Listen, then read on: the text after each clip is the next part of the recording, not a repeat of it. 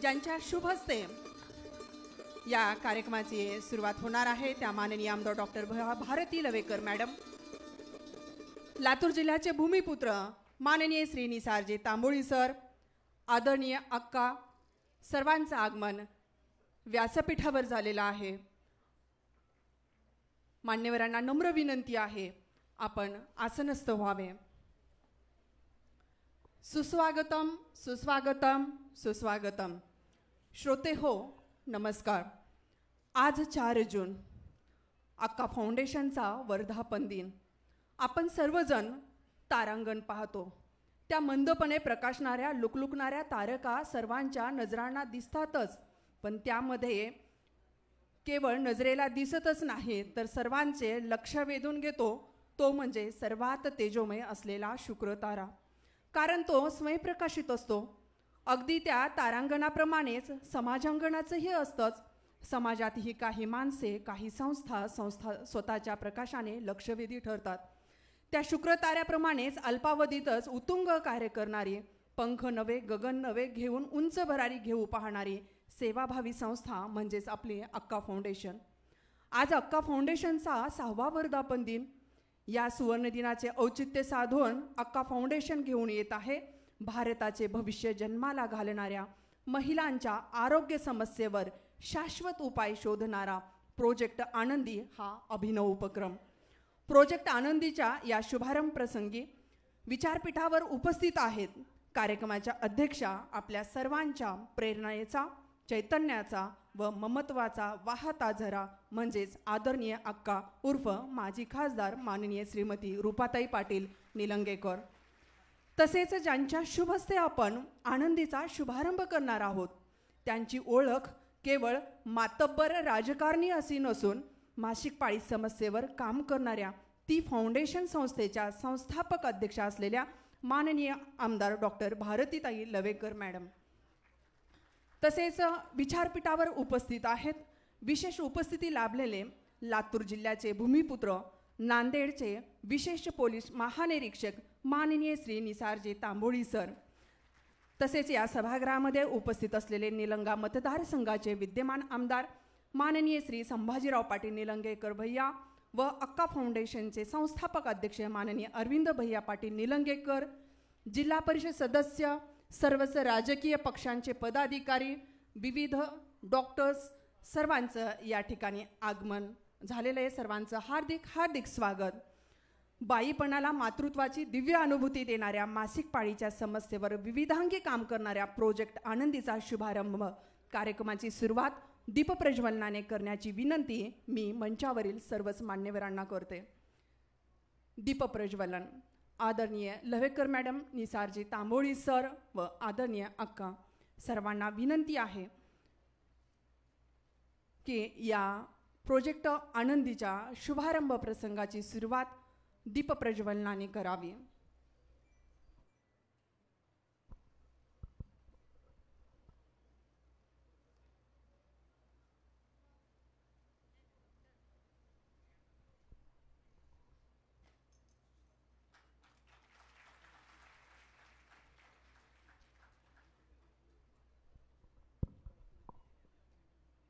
दीप प्रतीक है उजाले का, आशा का, प्रार्थना का।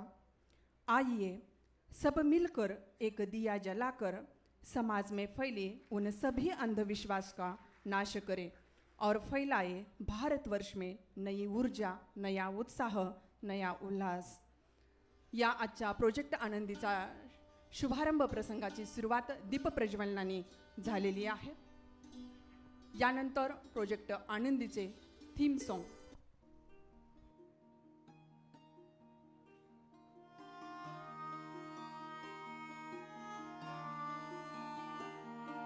तुझ्या पोटी विश्वाचे बीज जन्म घेते. तुझे कोटी उपकार मानू मी कैसे? तुझ्या जाणीवा नेणीवा जाणताना मनी दाटते रोज मातृ जैसे तूच जन्म तू भविष्य तू विश्वाची सारथी आनंदी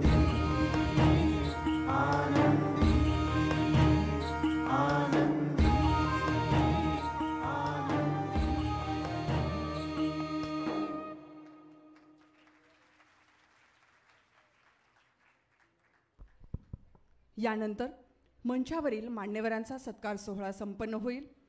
मी माननीय आमदार संभाजी भैया पाटील निलंगेकर साहेबांना विनंती करते की आजच्या कार्यक्रमाच्या मुख्य आकर्षण असलेल्या माननीय डॉक्टर भारती लवेकर मॅडमचा वटवृक्षाचे रोप व ग्रंथ भेट देऊन यथोचित सत्कार करावा. अक्का फाउंडेशनचे मार्गदर्शक माननीय संभाजी भैया पाटील भारती लवेकर मॅडम वर्सोवाच्या विधानसभा सदस्य असलेल्या डॉक्टर भारती लव्हेकर मॅडम महिला व बालकांसाठी कार्य करणाऱ्या ती फाउंडेशन या स्वयंसेवी संस्थेच्या त्या अध्यक्षा आहेत. भारतातील पहिली सॅनिटरी पॅड बँक सुरू केल्याबद्दल भारताच्या माज माननीय राष्ट्रपतींच्या हस्ते प्रथम महिला पुरस्कार देऊन त्यांना गौरविण्यात आलेले आहे. तळागाळातील गरजू महिलांपर्यंत व शाळकरी मुलीपर्यंत सॅनिटरी पॅड पुरविण्याचे काम संस्थेच्या माध्यमातून त्या अविरत करतात. मागील पंचवीस वर्षापासून डॉक्टर भारती मॅडम प्राधान्याने महिला सबलीकरण स्त्री अर्भक व मासिक पाळीच्या जागृतीचे काम त्या करत आहेत. सन्माननीय पंतप्रधान मोदीजींच्या कल्पनेतील स्त्री सबलीकरण या चळवळीतील डॉक्टर भारती मॅडम मॅडम हे एक ठळक नाव आहे. त्यांचा सत्कार या ठिकाणी संपन्न झालेला आहे. संभाजी भैयांना मी विनंती करते की व्यासपीठावर उपस्थित असलेले विशेष उपस्थिती लाभलेले माननीय श्री निसारजे तांबोळी सर यांचा वृक्षभेट व ग्रंथभेट देऊन सत्कार करावा. माननीय निसारजे तांबोळी सर विशेष पोलीस महानिरीक्षक नांदेड परिक्षेत्र. त्यांचा जवळचा परिचय म्हणजे सर लातूर जिल्ह्याचे भूमिपुत्र आहेत. एकोणीसशे शहाण्णवपासून महाराष्ट्र पोलीस दलात कार्यरत आहेत.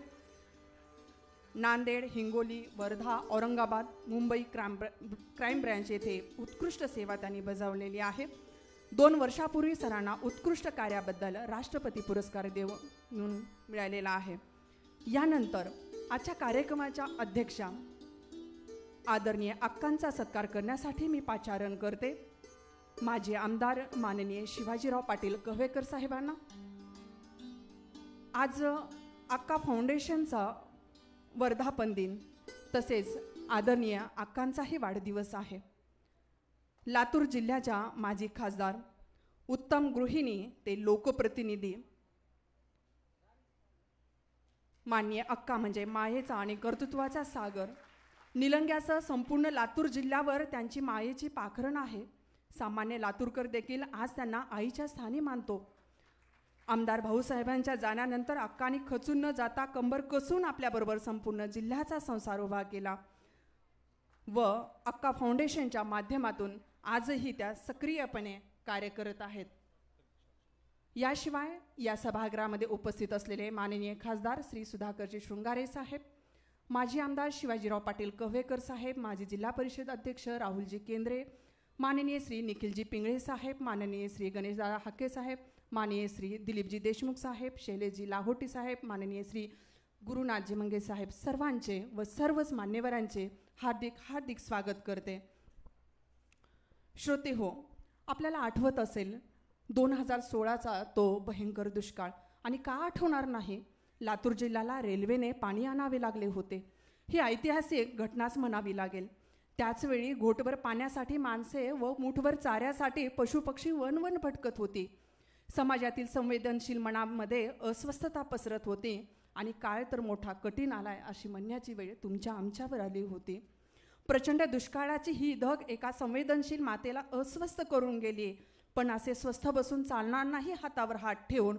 काहीतरी केले पाहिजे. या आंतरिक प्रेरणेतून जन्माला आली ती म्हणजे अक्का फाउंडेशन ही सेवाभावी संस्था. जनसेवेचा संस्कार फक्त आपल्या मुलांपुरते मर्यादित न न ठेवता तो एक विचार बनवत अक्का फाउंडेशनचा जन्म झाला आणि या आजपर्यंतच्या सहाव्या वर्धापन दिनापर्यंतच्या या वाटचालीमध्ये अक्का फाउंडेशनने अनेक कार्ये अनेक उपक्रम आणि अभिनव कार्य हात घेतलेले आहे उपक्रम पूर्ण केलेले आहे.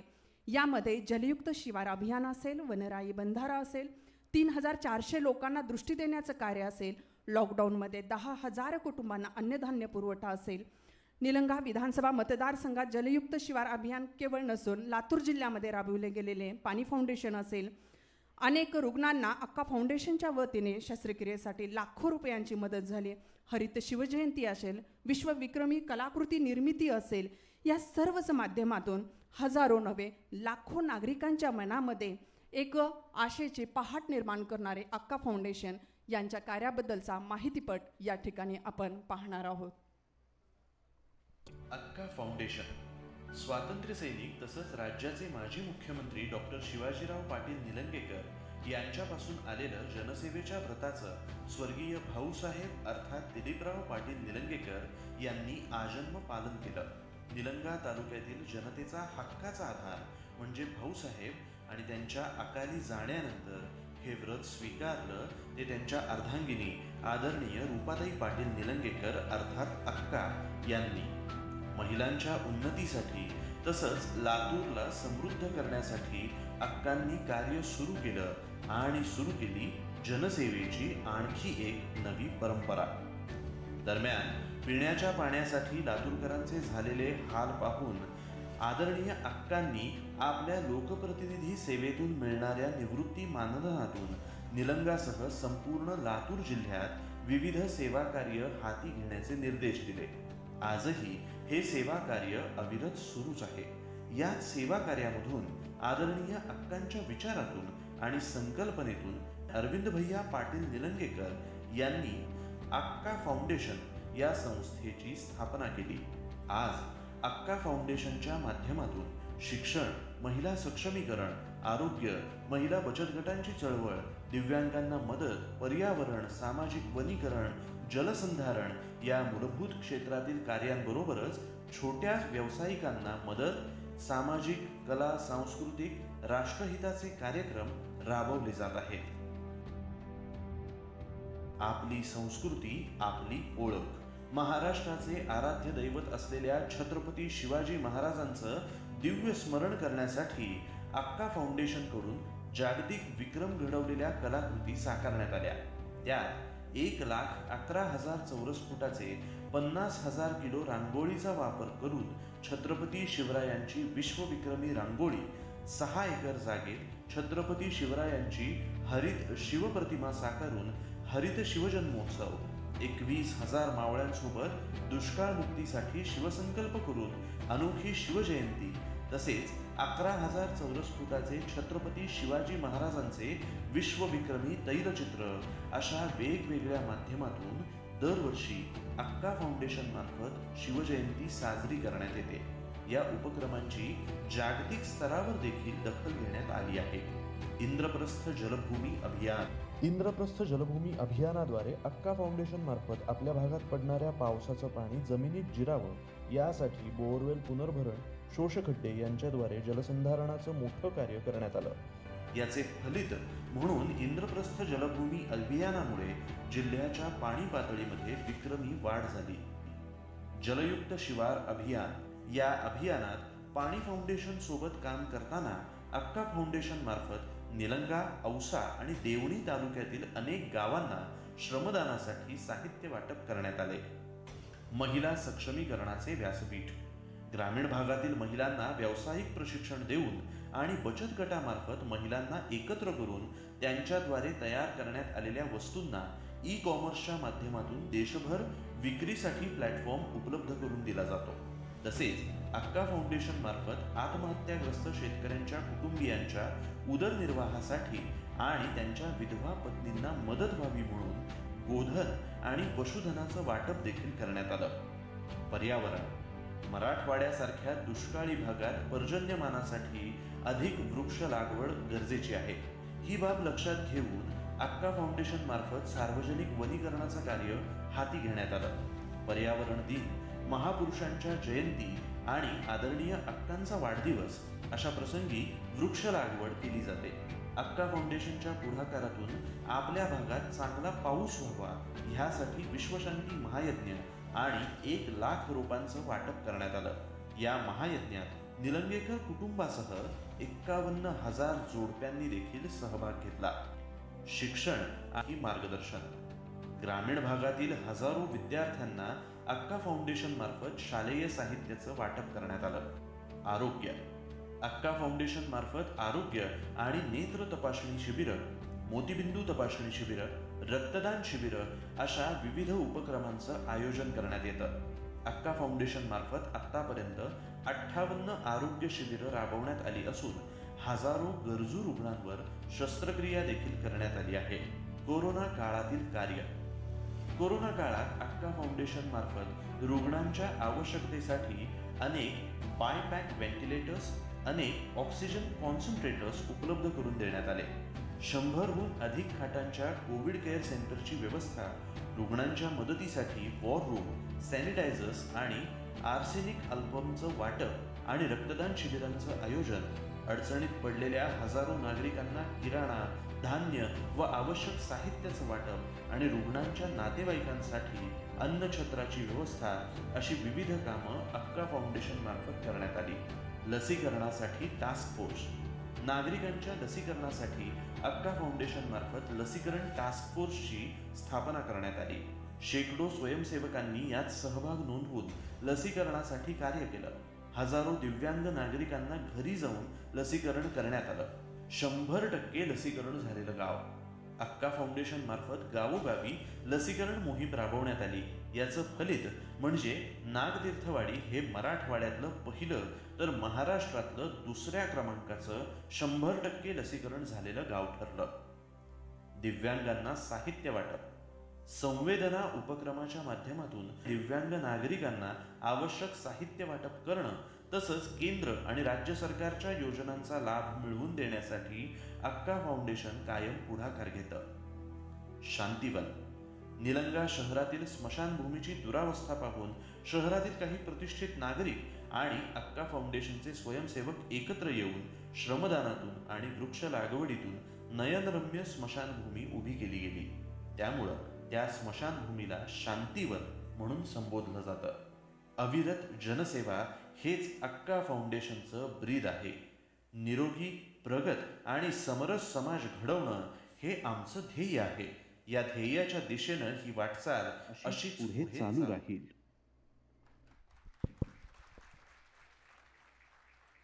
बाई ग तू पुरुष नाहीस. हे तिला पिढ्यानपिढ्यांपासून ऐकावेच लागले. पण पुरुषांची मक्तेदारी असलेली सर्व क्षेत्रे तिने केव्हाच काबीज केलेली आहेत? सर्व क्षेत्रामध्ये ती अग्रेसर आहे.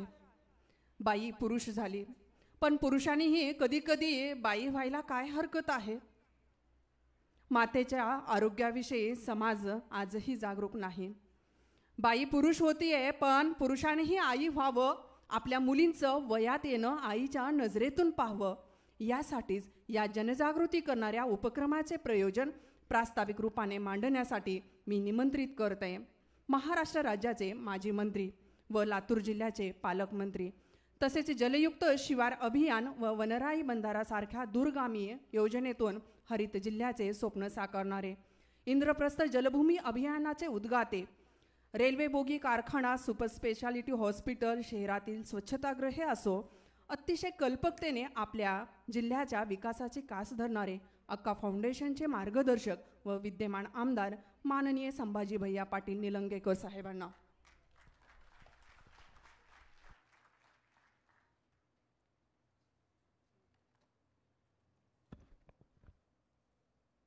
आजच्या कार्यक्रमाचे प्रमुख मार्गदर्शक मुंबईतील वर्सोवा विधानसभेचे आमदार आमचे विधिमंडळातले अत्यंत अभ्यासू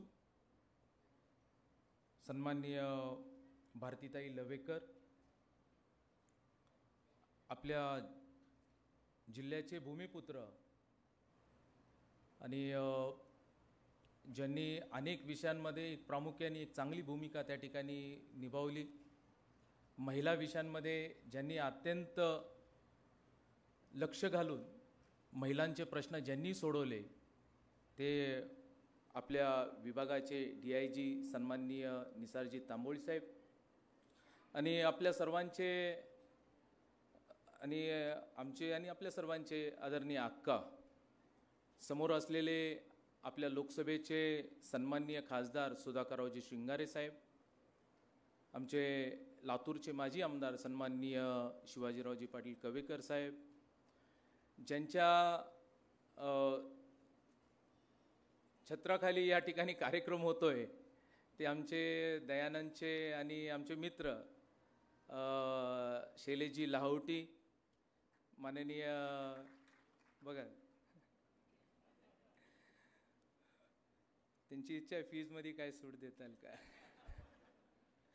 त्याचसोबत आपल्या विभागाचे आपल्या जिल्ह्याचे एस पी सन्माननीय निखिलजी पिंगळे साहेब सन्माननीय सी ओ साहेब आमचे गोयल साहेब आमचे माजी आमदार सन्माननीय गोविंदरावजी केंद्रे साहेब जिल्हा परिषदेचे माजी अध्यक्ष राहुलजी केंद्रे दिलीपरावजी देशमुख साहेब भरमदे साहेब. मी सर्वांचे नावं घेऊ शकतो या ठिकाणी पण उपस्थित सर्वच मान्यवर सर्व डॉक्टर्स मंडळी एन जी ओचे सर्व पदाधिकारी या ठिकाणी असलेले विविध कार्यकारी सेवा ज्या संस्था आहेत त्यांचे पदाधिकारी आणि जे आमचे माता भगिनी या ठिकाणी आलेत हे सर्वजण वर असलेल्या माझ्या भगिनी त्याचसोबत मी आता सध्याची इथली परिस्थिती पाहत असताना सहसा बऱ्याचदा असं वाटतंय की जागा मिळाल्यानंतर कोण कुणाला जागा देत नसतंय. पण मला असं वाटतं की जर कोणते पुरुष मंडळी बसले असतील आणि शेजारी जर एखादी महिला उभा टाकली असेल तर कृपया करून तिला जर जागा दिली आणि आपण इकडं थोडंफार ॲडजस्ट करून घेतलं. कारण आजचा दिवस तिचा आहे तिच्यासाठी आपण इथं सर्वजण आलो आहे तर थोडं मागच्या बाजूला जे काही पुरुष मंडळी असेल थोडं आपण ॲडजस्ट करून घेऊ. त्यांना थोड्या वेळासाठी म्हणजे आपले माफी मागून मागतो कारण त्यांच्यासाठी आपण हा इथं एकत्रित आलो आहे उपस्थित सर्वच मान्यवर. आजचा असा विषय आहे ताई साहेब की ज्याच्यावर ह्या विषयाच्या अनुषंगाने एखादी महिला पण बोलत असताना विचार करते की ह्या विषयावर मी बोलायचं का नाही? मेनेस्ट्रेशन हायजीन असं आपण जे म्हणतो किंवा मासिक पाळी ह्याला जे आपण संबोधित करतो. आणि त्याच्यावर महिला पण विचार करतात की आपण ह्याच्यावर बोलायचं का नाही? आणि त्याच्यावर मी एक पुरुष आणि मंडळींनी बोलाव. हा एक ह्याच्यातला अनेक लोकांच्या मनामध्ये प्रश्न असेल. ज्यावेळेस आमची चर्चा चालू होती आणि मी हा विषय मांडत असताना ज्यावेळेस हा विषय घेण्याचा मी निर्णय केला अनेक जण माझ्यावर हसले पण की माझ्यासोबतचे मित्र पण आम्ही ज्यावेळेस एकत्रित बसलो होतो माझ्यासोबतचे मित्र होते. आमच्या राजकीय पक्षामध्ये आम्ही काम करत असताना त्यांनी म्हटले की ससा महिला ह्याच्यावर बोलत नाही तू तर पुरुष आहेस पुरुषांनी ह्याच्यावर कसं बोलायला पाहिजे? आणि मनामध्ये किंतूही माझ्या मनामध्ये किंतू आला. पण मला ते अक्काचे शब्द आठवले. मला अक्कानी त्या बैठकीमध्ये अक्का पण होते. अक्कानी सांगितलं संभाजी आपल्या घरी चार मुली आहेत म्हटलेत. आणि तू त्यांचा वडील म्हणून तू त्यांच्याकडे पाहतोस. पण वडिलांनी कधी कधी आईच्या भूमिकेमध्ये यायला पाहिजे वडिलांनी कधी कधी आई बनायला पाहिजे. आणि हा विषय मांडत असताना तू वडील म्हणून मांडू नकोस तू आई म्हणून मांडण्याचा प्रयत्न कर. तर तू अधिक आपल्या या सर्व भगिनींना तू न्याय देऊ शकतोस.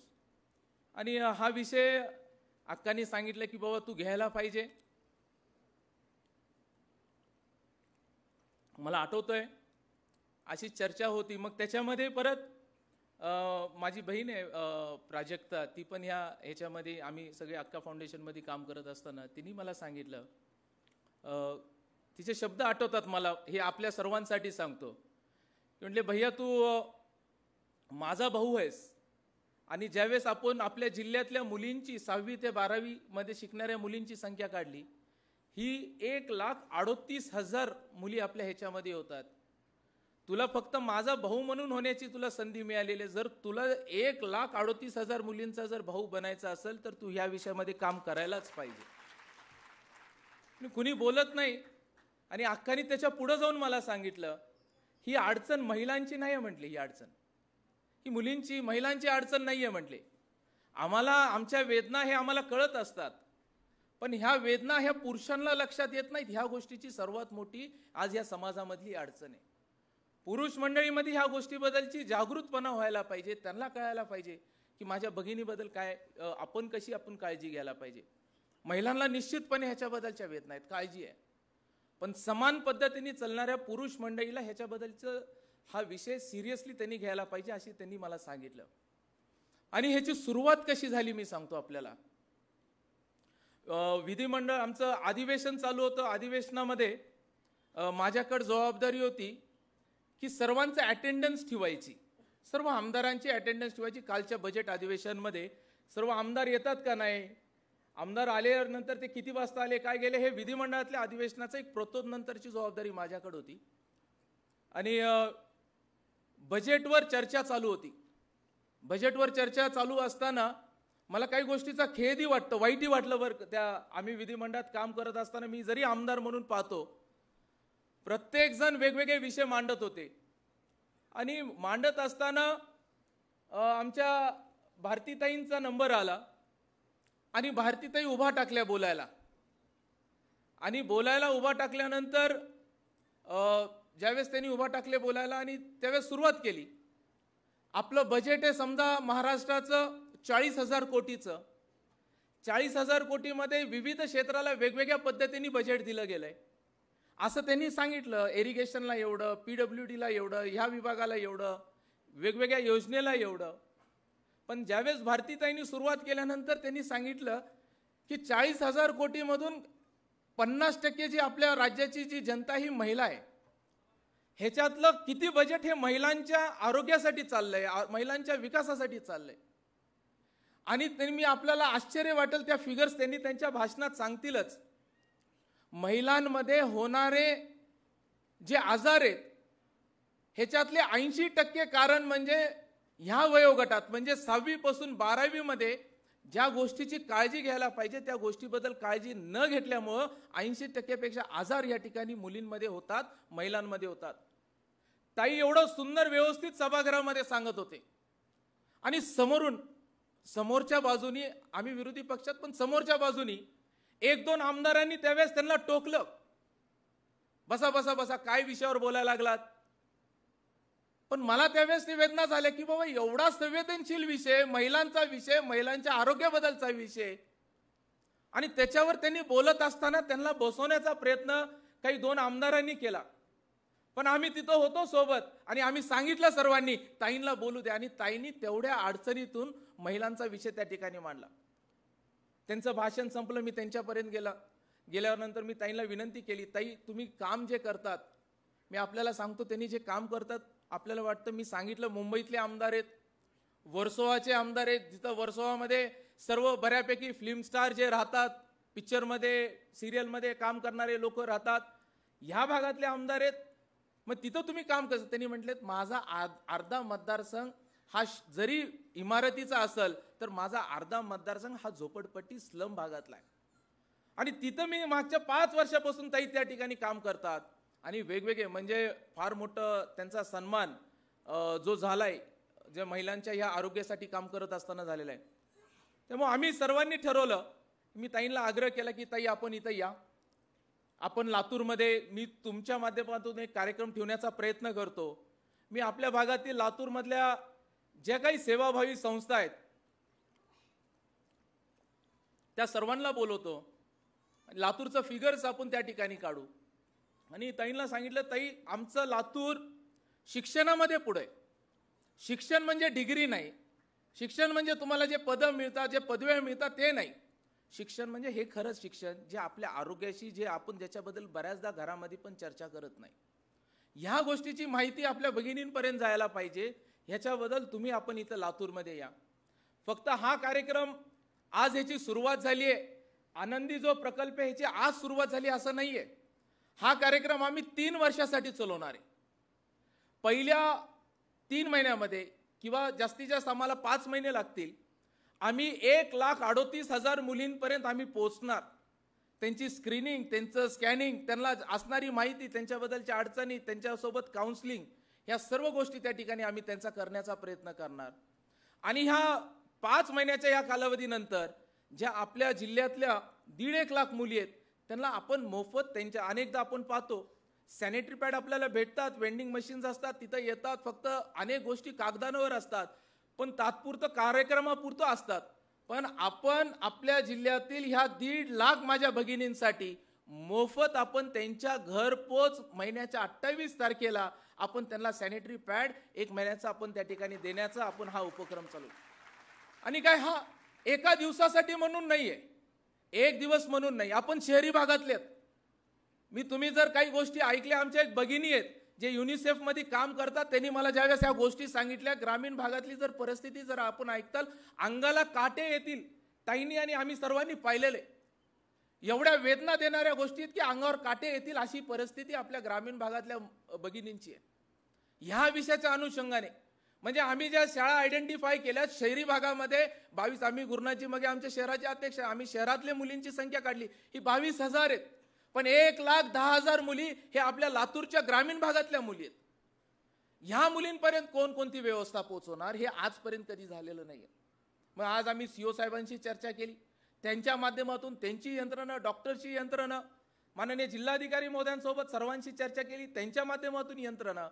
त्यांनी आम्हाला ह्या सर्व काम करत असताना त्यांचं सर्वांचं सहकार्य घेऊन पहिल्या ह्याच्यात प्रशिक्षण आणि त्याच्यानंतर दोन हजार चोवीसपर्यंत दोन हजार चोवीसपर्यंत आपल्या अक्का फाउंडेशनच्या माध्यमातून ह्या सर्व आमच्या भगिनींना हे पॅड्स वाटप करण्याचं काम आम्ही त्या ठिकाणी चालू ठेवणार आहे.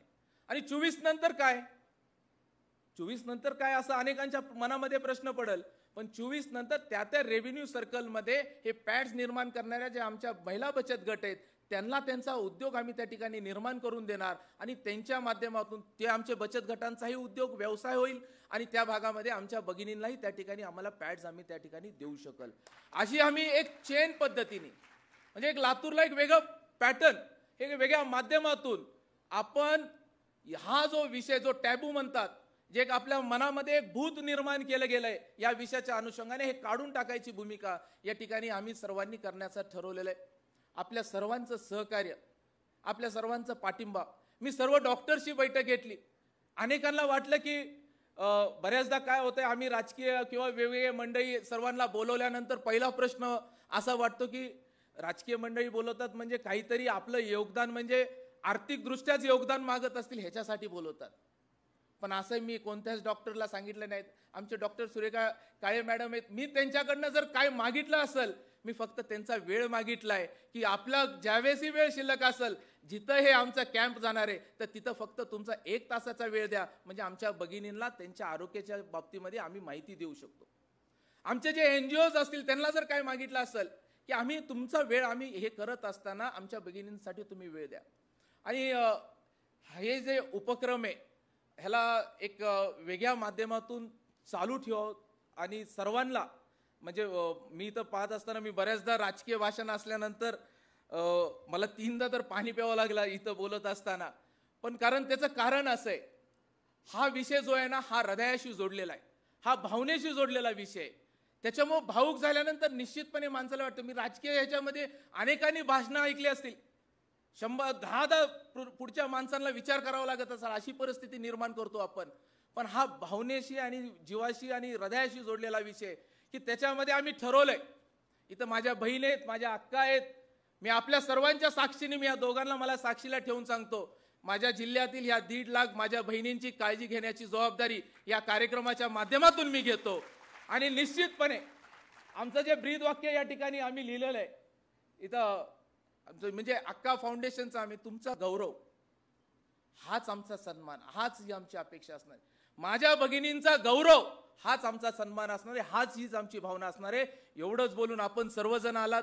मी त्याच्यासाठी आमच्या भगिनींना जे कॉलेजमधल्या ज्या मुली या ठिकाणी उपस्थित आहेत हा फार महत्त्वाचा विषय आपल्या सर्वांसाठी आहेत. जे मार्गदर्शन मिळ मिळणार आहे. हे बघा आपल्याला कळालं आपल्या माध्यमातून दुसऱ्याला माहीत व्हायला पाहिजे हे आपण लक्षात घ्या. तुमच्यापर्यंत एखादी गोष्ट कळाली ती तुमच्या दुसऱ्या भगिनींपर्यंत माहीत व्हायला पाहिजे हे आपण सर्वांनी लक्षात घ्या. असा एक छोटासा प्रयत्न केलेला आहे. परत एकदा मी अक्कांचे आणि आमच्या भारतीताई जे लवेकर जे आमच्या मॅडम आहेत ताई आहेत त्यांचे मी मनापासून आभार मानतो. आणि सन्मान्य आमचे निसारजी तांबोळी साहेबांचंही मी या ठिकाणी आम्ही आमच्या ह्या नाजूक विषयावर साहेब मला मलाही वाटलं तुम्ही ह्या विषयावर येताल का? पण मला ज्या आवडीने तुम्ही सांगितलात की एखाद्या पुरुष मंडळींनी फार विचार करतात साहेब. मी अनेक राजकीय लोकांना पाहिलं. मागच्या दहा दिवसापासून माझ्यासमोर जरी कुणी बोलत नसेल पण मला मागं कोण काय बोलते बऱ्याचदा आमच्या लक्षात येत असते की काय भैयानी काय विषय चालू केलाय. पण मी त्या गोष्टीकडे पाहणार नाही साहेब. ठरवलंय ना आता या दीड लाख मुलींसाठी आमच्या बहिणींसाठी काम करायचं. धन्यवाद. जय हिंद जय महाराष्ट्र. धन्यवाद भैयासाहेब यानंतर मंचावरील मान्यवरांना विनंती करते की प्रोजेक्ट आनंदीचा शुभारंभ आपण करावा.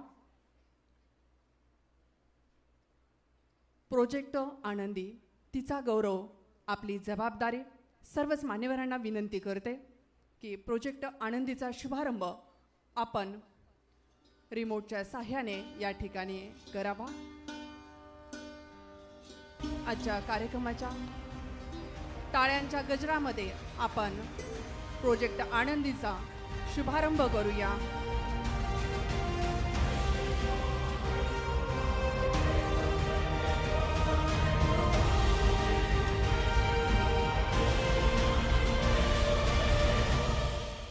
मान्यवरांच्या शुभ हस्ते प्रोजेक्ट आनंदीचा भारत. जगातील सर्वात जास्त तरुणांचा देश. भारताचं भविष्य हे या नव्या पिढीच्या हातात आहे. आणि ही नवी पिढी घडवते ती म्हणजे घरातील स्त्री. परंतु आज देखील तिच्या आरोग्याकडे विशेषतः मासिक पाळी दरम्यान तिला होणारे त्रास आणि येणाऱ्या अडचणीकडे पुरेसं लक्ष दिलं जात नाही. मासिक पाळी. हा त्याचा सर्वांच्याच ओळखीचा शब्द. परंतु लाजेच्या पडद्याआड ठेवलेला हा शब्द जाहीर चर्चेतून मात्र कायम दूर असतो. मुलांच्या जन्माचा उत्सव आपल्याकडे मोठ्या आनंदाने साजरा केला जातो. परंतु भावी पिढीच्या जन्मासाठी अत्यंत आवश्यक असलेल्या या नैसर्गिक देणगीला मात्र कायम अशुद्धपणाच्या भावनेनं पाहिलं जातं. केवळ गैरसमज आणि अंधश्रद्धेमुळे आज मासिक पाळीदरम्यान तिला सर्वांपासून वेगळं ठेवलं जातं. तिच्या राहण्याची खाण्याची सोय इतरांपासून वेगळी केली जाते. काही ठिकाणी महिलांना पाच दिवस घरामध्ये प्रवेशही दिला जात नाही. जीवनामध्ये पहिल्यांदाच येणाऱ्या प्रसंगाला सामोरं जाताना त्यांच्या होणाऱ्या मानसिक आणि शारीरिक अवस्थेकडे आजही पुरेसं लक्ष दिलं जात नाही. मासिक पाळीदरम्यान शाळेमध्ये पुरेशी सुविधा उपलब्ध नसल्यामुळे भारतामध्ये दरवर्षी दोन कोटी मुलींना आपलं शिक्षण अर्धवट सोडून द्यावं लागत आहे. देशाचं भवितव्य असलेल्या आणि समाजाचा सुदृढ आधार बनू पाहणाऱ्या कित्येक जीवांना फक्त पाळीविषयीच्या सामाजिक चौकटींमुळे शिक्षण सोडून देण्याची वेळ येणं ही सर्व समाजाला विचार करायला लावणारी गोष्ट आहे. मासिक पाळीदरम्यान योग्य काळजी न घेतल्यामुळे महिला वर्गाची होणारी शारीरिक हानी देखील फार मोठी आहे. या दरम्यान योग्य काळजी न घेतल्यामुळे मूत्रमार्गाचा संसर्ग यीस्ट संसर्ग फंगल इन्फेक्शन गर्भाशय मुखाचा कर्करोग यासारख्या गंभीर आजारांचा सामना करावा लागतो. भारतामध्ये ब्रेस्ट कॅन्सरनंतर सर्व्हायकल कॅन्सरचं प्रमाण सर्वाधिक असून एकूण कॅन्सर रुग्णांपैकी सत्तावीस टक्के रुग्ण हे सर्व्हायकल कॅन्सरचे आहेत. त्यातील सदुसष्ट हजार चारशे सत्याहत्तर महिला रुग्णांचा दरवर्षी मृत्यू होतो. हा आकडा अत्यंत मोठा असून मासिक पाळीविषयीचे गैरसमज आणि त्याविषयी खुलेपणानं न बोलल्यामुळे हा आकडा दिवसेंदिवस वाढत आहे. यासाठी राज्याचे माजी मंत्री तथा निलंगा मतदारसंघाचे विद्यमान आमदार माननीय संभाजी पाटील निलंगेकर यांच्या संकल्पनेतून अक्का फाउंडेशन सुरू करत आहे प्रोजेक्ट आनंदी. एक संवाद तिच्यासाठी एक पाऊल तिच्या आरोग्यासाठी तिच्या गौरवासाठी. किशोरवयीन मुली तसंच प्रौढ स्त्रियांना मासिक पाळी तसेच पाळीदरम्यान आवश्यक असलेलं साहित्य पुरवण्याच्या उद्देशानं अक्का फाउंडेशन मार्फत प्रोजेक्ट आनंदी राबवण्यात येत आहे. ज्याचा मुख्य उद्देश मासिक पाळीसारख्या अत्यंत महत्त्वाच्या विषयाबद्दल समाजात असणारे गैरसमज अंधश्रद्धा तसंच अशुद्धपणाची भावना दूर करणं. किशोरवयीन मुलींमध्ये मासिक पाळीविषयी जागृती निर्माण करणं. मासिक पाळी दरम्यान निगा कशी राखावी याविषयी माहिती देणं. पाळी दरम्यान आवश्यक असलेलं साहित्य उदाहरणार्थ सॅनिटरी पॅड्स उपलब्ध करून देणं. ग्रामीण भागामध्ये महिला बचत गटांमार्फत सॅनिटरी पॅडचं उत्पादन सुरू करून ग्रामीण भागात रोजगार उपलब्ध करून देण्यासाठी प्रयत्न करणं. मासिक पाळीविषयी जागृती अभियानात पुरुषांचा सहभाग वाढवणं. येत्या तीन वर्षात संपूर्ण लातूरला मासिक पाळी आणि आरोग्यविषयी जागरूक जिल्हा अशी ओळख मिळवून देणं. शिक्षणाप्रमाणे मासिक पाळी जागृतीचा लातूर पॅटर्न तयार करून तो देशभर पोहोचवणं. तर चला या अभिनव उपक्रमाला हातभार लावूया. तिच्या आनंदाचं कारण बनूया. आता आपली पाळी.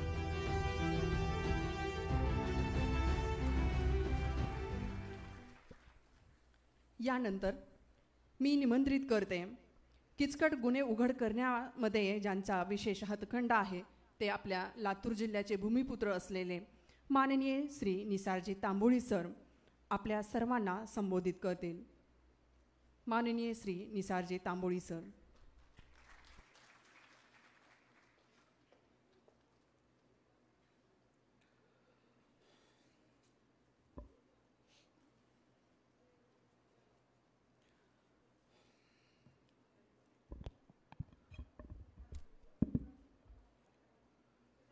मंचावर उपस्थित आदरणीय आका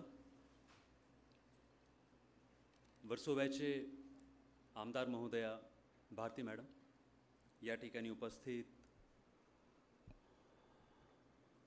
खासदार साहेब जिल्ह्याचे खासदार आमदार श्री पाटील साहेब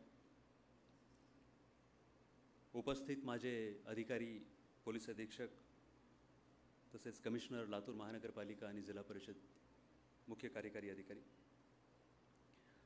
आमदार साहेबांनी बरोबर बोलले की हा किचकट विषय आहे आणि अवघड विषय आहे. आणि जेव्हा मी हॉलमध्ये प्रवेश करत होतो प्रवेश करत असतानाच मला जाणवलं की हा किती अवघड विषय आहे. फक्त तीन कुर्स्या आहेत आणि मी एकच त्याच्यामध्ये पुरुष आहे ज्याला मला याच्यामध्ये बोलायचं आहे. तशी वीस वर्षामध्ये आता थोडीशी सवय झालेली आमदार महोदय की अवघड अडचणीचे प्रश्न आणि अडचणीच्या सिच्युएशन तुम्ही आमच्याकडे टाकता आणि त्याला थोडंसं आम्हाला हलकं अभ्यास करून थोडंसं पेलून घ्यावं लागतं त्याला आणि हाताळावं लागतं. हा विषय जेवढा अवघड आहे तेवढाच सर्वसमावेशक आहे. आणि हा विषय तो आहे की एवढा सर्वसमावेशक असूनसुद्धा याच्याबद्दल बोलणं आणि याच्याबद्दल काहीही डिस्कस करणं घरी हे अगोदरपासून टॅबू मानलं जात आहे. आता आता मला वाटतं मागच्या पाच दहा वर्षामध्ये थोडीशी याची सुरुवात झालेली आहे बोलण्यासाठी. तरी जसा आता उल्लेख करण्यात आलेला होता की ही शहराची परिस्थिती आहे परंतु ग्रामीण भागामध्ये जर आपण गेलं ग्रामीण भागामध्ये जर पाहिलं आपण तर ती परिस्थिती अजून तशीच आहे. कुणाला याच्याबद्दल बोलता येत नाही याच्याबद्दल काही सोल्युशन काढता येत नाही. किंवा कुणाला विचारलं तर याचं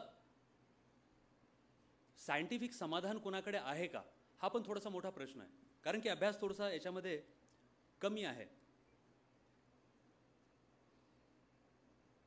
आपल्या घरामध्ये जर आपण विचार केला तर आपल्याला आता पण जाणवेल की आपल्या घरी सुद्धा सर्वजण सर्वाबद्दल याच्याबद्दल बोलू शकणार नाहीत. एक नातं आहे की जे कदाचित ओपनली बोलू शकतं आणि समजू शकतं. ते म्हणजे पती पत्नी आणि मुलं मुली. हे याच्याबद्दल थोडंसं बोलू शकतील आणि त्याच्याबद्दल थोडंसं गैरसमज जे असतील ते त्याच्यामध्ये टाळू शकतील. याचं महत्त्व फक्त तेवढ्या पाच दिवसापुरतं आहे किंवा त्याच्या पाच दिवसाचा जो त्रास आहे त्याच्याबद्दलचाही नाही आहे याचं महत्त्व फक्त पाच दिवसामध्ये जे होतं ते कसं हाताळावं आणि त्याच्याबद्दल कसं बोलावं हा सुद्धा नाही आहे प्रश्न त्याच्या पुढचा आहे.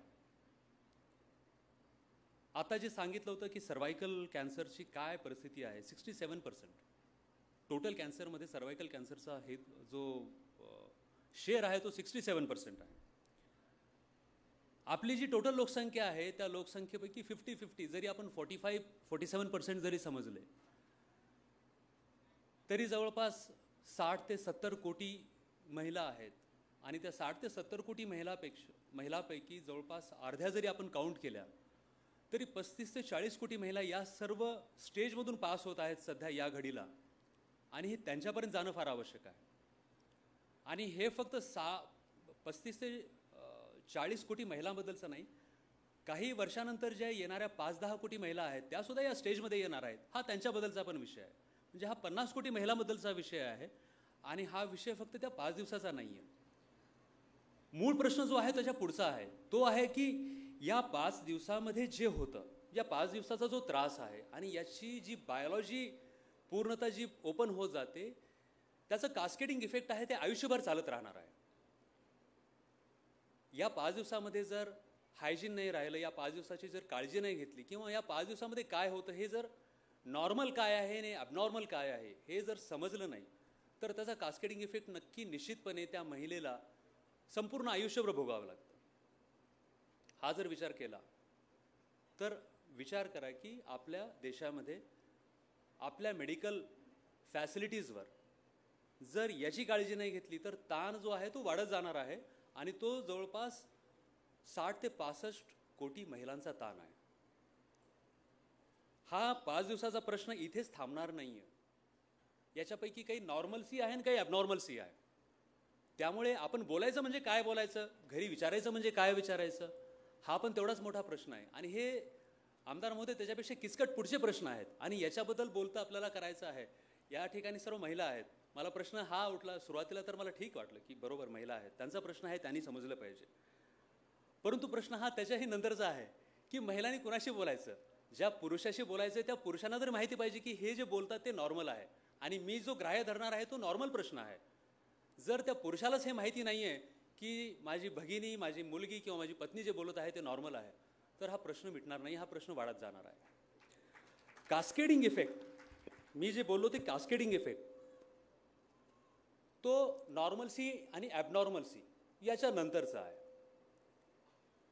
ज्या मासिक पाळीचे पाच दिवस आहेत त्या मासिक पाळीच्या पाच दिवसामध्ये नॉर्मल काय आहे आणि कुठून ती ॲबनॉर्मलशी सुरू होते किती झालं म्हणजे ॲबनॉर्मल होतं हे कुणालाच माहिती नाही पुरुषांना तर मुळीच नाही परंतु मला याची खात्री आहे की बऱ्याच महिलांनासुद्धा ते माहिती नसेल कारण की बोलणार कोणाकडे? एक्सप्लेन कोणाकडे करणार? आणि कोण याचं सोल्युशन देणार?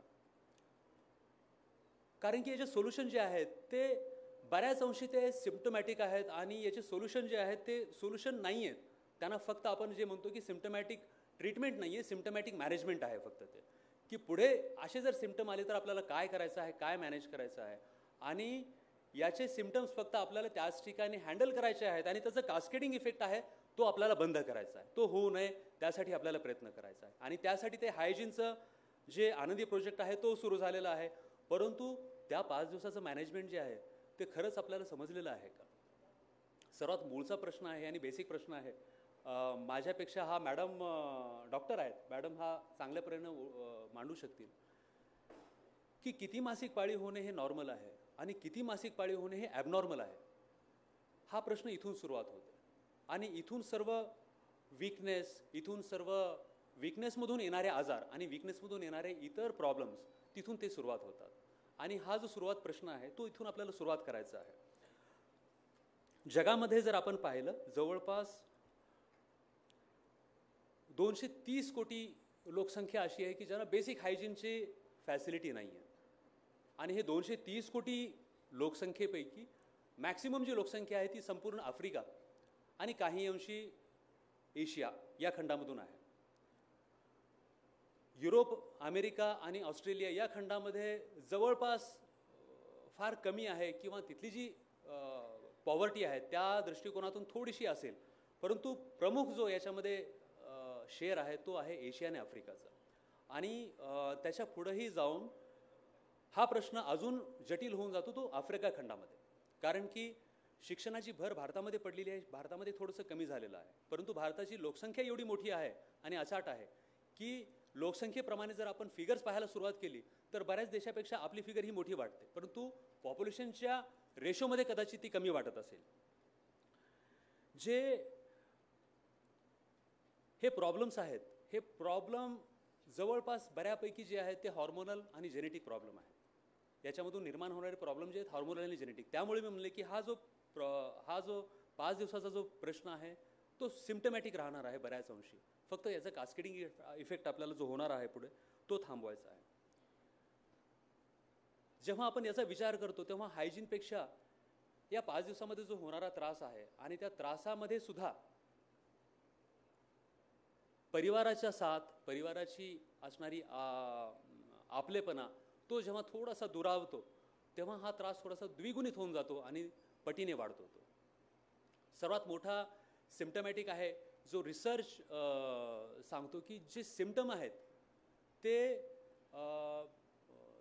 सर्व प्रकारच्या महिलांचा जेव्हा विचार केलेला आहे म्हणजे व्हाईट असो ब्लॅक असो एशियन हिस्पॅनिक आणि आफ्रिकन ऑफकोर्स ब्लॅक त्या सर्वांचा जर विचार केला तर जवळपास एटी थ्री पर्सेंट त्र्याऐंशी पर्सेंट महिला अशा आहेत की त्यांना ॲबडॉमिनल क्रॅम्प्स ह्या कॉमनली होतात. म्हणजे जवळपास फक्त दहा टक्के महिलांना कदाचित त्या होत नाही दहा ते पंधरा टक्के महिलांना. त्र्याऐंशी टक्के महिलांना ॲबडॉमिनल क्रॅम्प्स हे असतात. म्हणजे पाच दिवसाचा तो त्रास.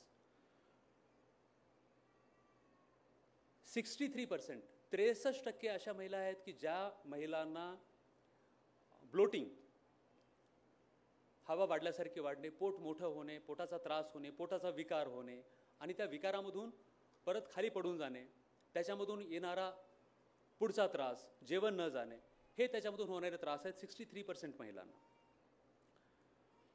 जनरल टायर्डनेस थकवा जाणवणे साठ साठ ते पासष्ट टक्के महिला.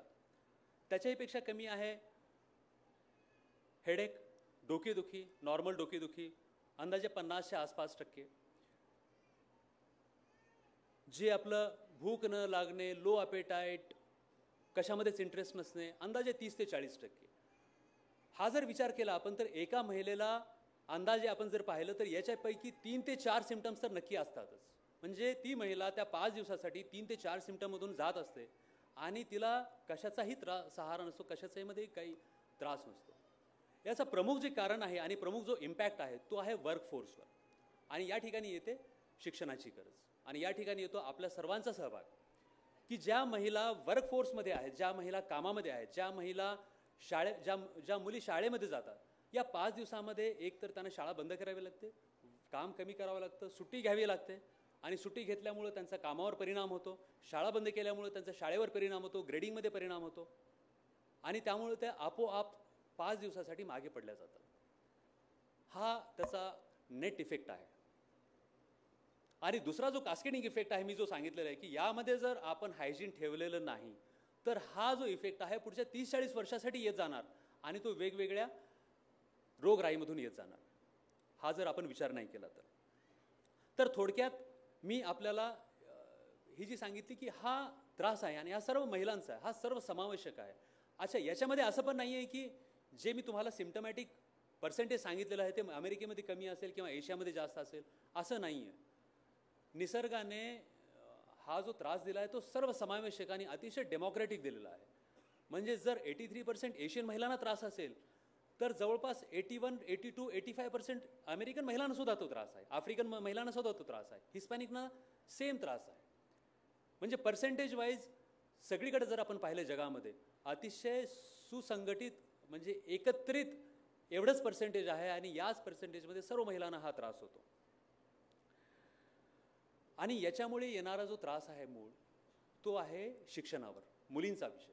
जो आमदार साहेबांनी या ठिकाणी काढलेला आहे की मुलींचा विषय आणि त्याच्यामुळे काय होतं आणि तो मेन शिक्षणामुळे आहे. आफ्रिकेमध्ये महिलांचं शिक्षण जे मागं पडलेलं आहे ते याच्यामुळे आहे. सुदानमध्ये जवळपास पन्नास ते साठ टक्के मुलींना शाळेमधून परत यावं लागतं या कारणासाठी. बेसिक फॅसिलिटीज नाही आहेत. केनियामध्ये जरी झालं आफ्रिकेमधलं साऊथ आफ्रिका आणि केनिया त्यातल्या त्यात पुढारलेले देश. परंतु त्या ठिकाणी सुद्धा जवळपास सत्तर टक्के महिला अशा आहेत की ज्यांना या ठिकाणी बेसिक फॅसिलिटीज नसल्यामुळे त्यांना एकतर शाळा सोडावी लागते शाळा कमी करावी लागते किंवा परत यावं लागतं. हा त्याचा कास्केडिंग इफेक्ट आहे. आणि हा इफेक्ट याच्यामुळे आहे की आपण त्यांना समजू शकलेलो नाही आहे की त्यांच्या खरंच गरजा काय आहेत. महिलांना खरंच काय वाटतं? या पाच दिवसासाठी आपण त्यांची काय काळजी घ्यायला पाहिजे हे जर आपण नाही समजलं तर हा इफेक्ट अजूनही वाढत जाणार आहे. आणि याच्यामध्ये जी इक्वॅलिटी आहे महिलांना आपण म्हणतो की इक्वल ऑपॉर्च्युनिटी द्यायला पाहिजे इक्वल त्यांना हे द्यायला पाहिजे तो इक्वॅलिटी मुळातच राहत नाही कारण की ते अनइक्वल आपोआप होऊन जातात या पाच दिवसामध्ये.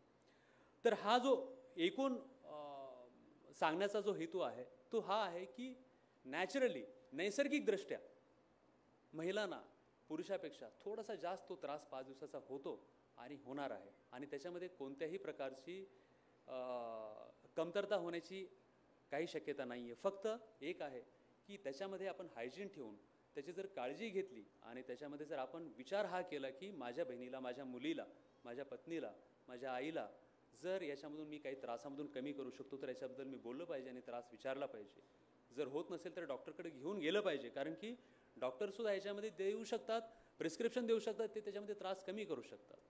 हे जी बेसिक जी ब्रेव्हिटी आहे जी क्लॅरिटी आहे ही प्रत्येकाच्या मनामध्ये येणं फार आवश्यक आहे आणि त्याचाच हा एक परिपाक आहे. अवघड विषय आहे सांगणं अवघड आहे फॉलो करणं तेवढंच अवघड आहे. आणि आमदार महोदय सांगत असताना मला पण तोच विषय माझ्या मनामध्ये आला की दोन हजार चोवीस नंतर काय? तोपर्यंत आपण काहीतरी करत आहात परंतु त्याच्यानंतर काय? मला असं वाटतं महोदय की प्रत्येक गोष्ट आपण द्यायला पाहिजे याच्यापेक्षा आपण त्यांना अवेअर करणं फार आवश्यक आहे शिक्षित करणं फार आवश्यक आहे. परंतु हे एक बेसिक नेचर आहे आणि हे आपल्या पुरुषाच्या कर्तव्याचा एक भाग आहे.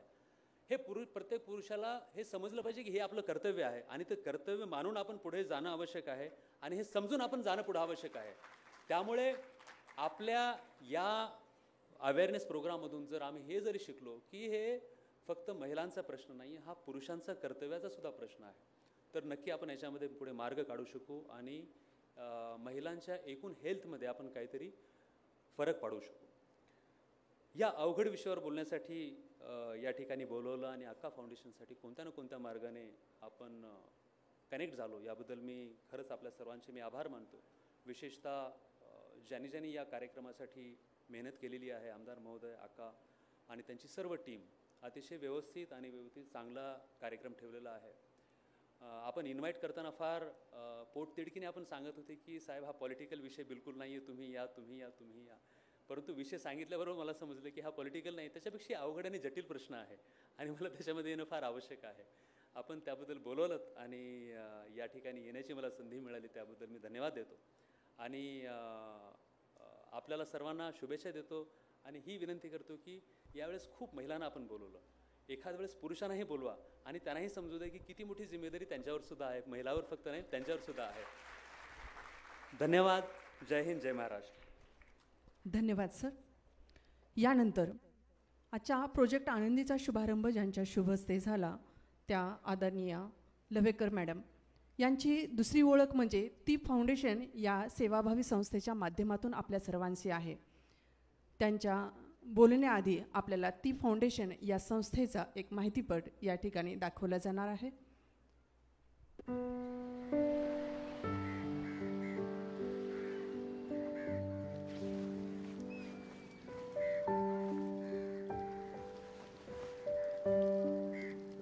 अरे कुसुम तैयार नहीं हुई क्या? स्कूल नहीं चलना?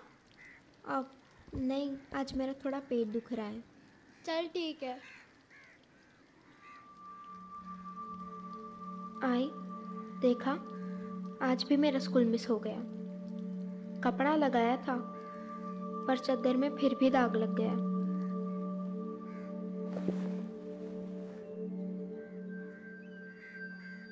पता है टीचर क्या कह रही थी?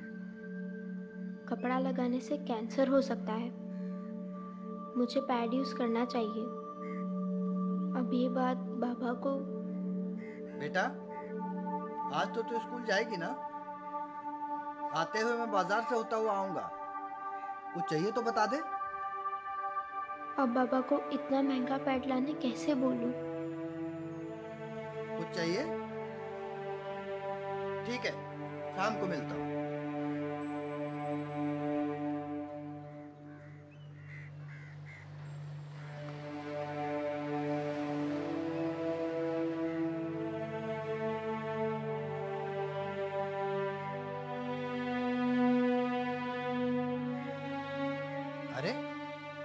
आज भी स्कूल नहीं गई। जब इतनी तबीयत खराब थी तो रोज रोज चार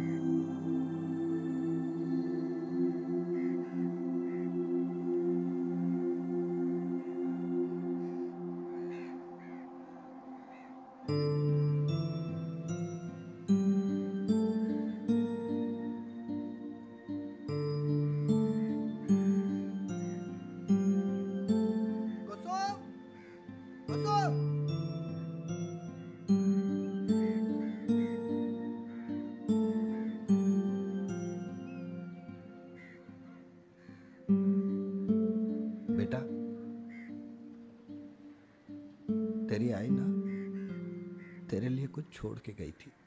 मुझसे बोला था कि थोड़ी बड़ी हो जाए तो उसको दे देना। लेकिन ये नहीं बताया था कि कितनी बड़ी हो जाए। मुझे लगा कि आज दे देना चाहिए। आई ने? हाँ। मेरे लिए? कहाँ है बाबा? अंदर।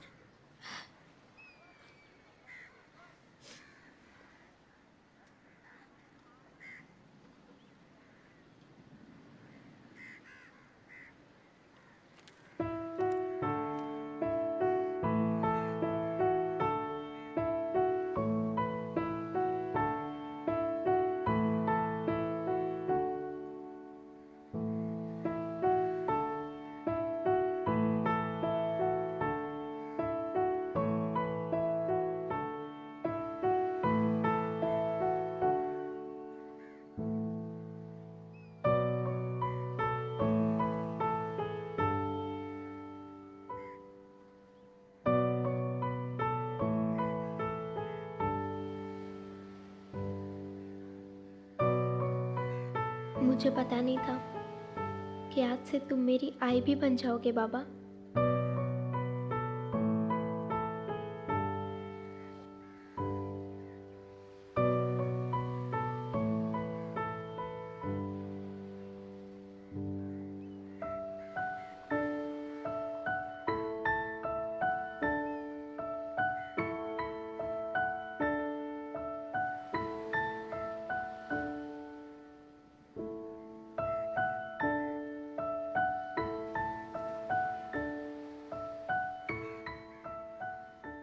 It is shocking that barely 15% of adolescent girls and women have access to sanitary pads in India. It is not only important to spread menstrual hygiene awareness amongst underprivileged girls and women, but also important that they have access to good quality sanitary pads and its environmental friendly disposal. Menstrual hygiene is no more a privilege, it is a right. Lack of access, information, affordability, and most importantly, embarrassment are the main reasons behind low menstrual hygiene. I congratulate our MLA, Dr. Bharati Lavekar, whose NGO, T Foundation, has taken this great initiative of starting Pad Bank. You donate a pad to those underprivileged each time you buy one for yourself. And to this, I pledge my support. Will you? स्वच्छ आरोग्य Swachh Bharat. यानंतर मी विनंती करते आदरणीय doctor Bharti Lavekar madam यांना आम्हा सर्वांना संबोधित करावे. Doctor Bharati madam.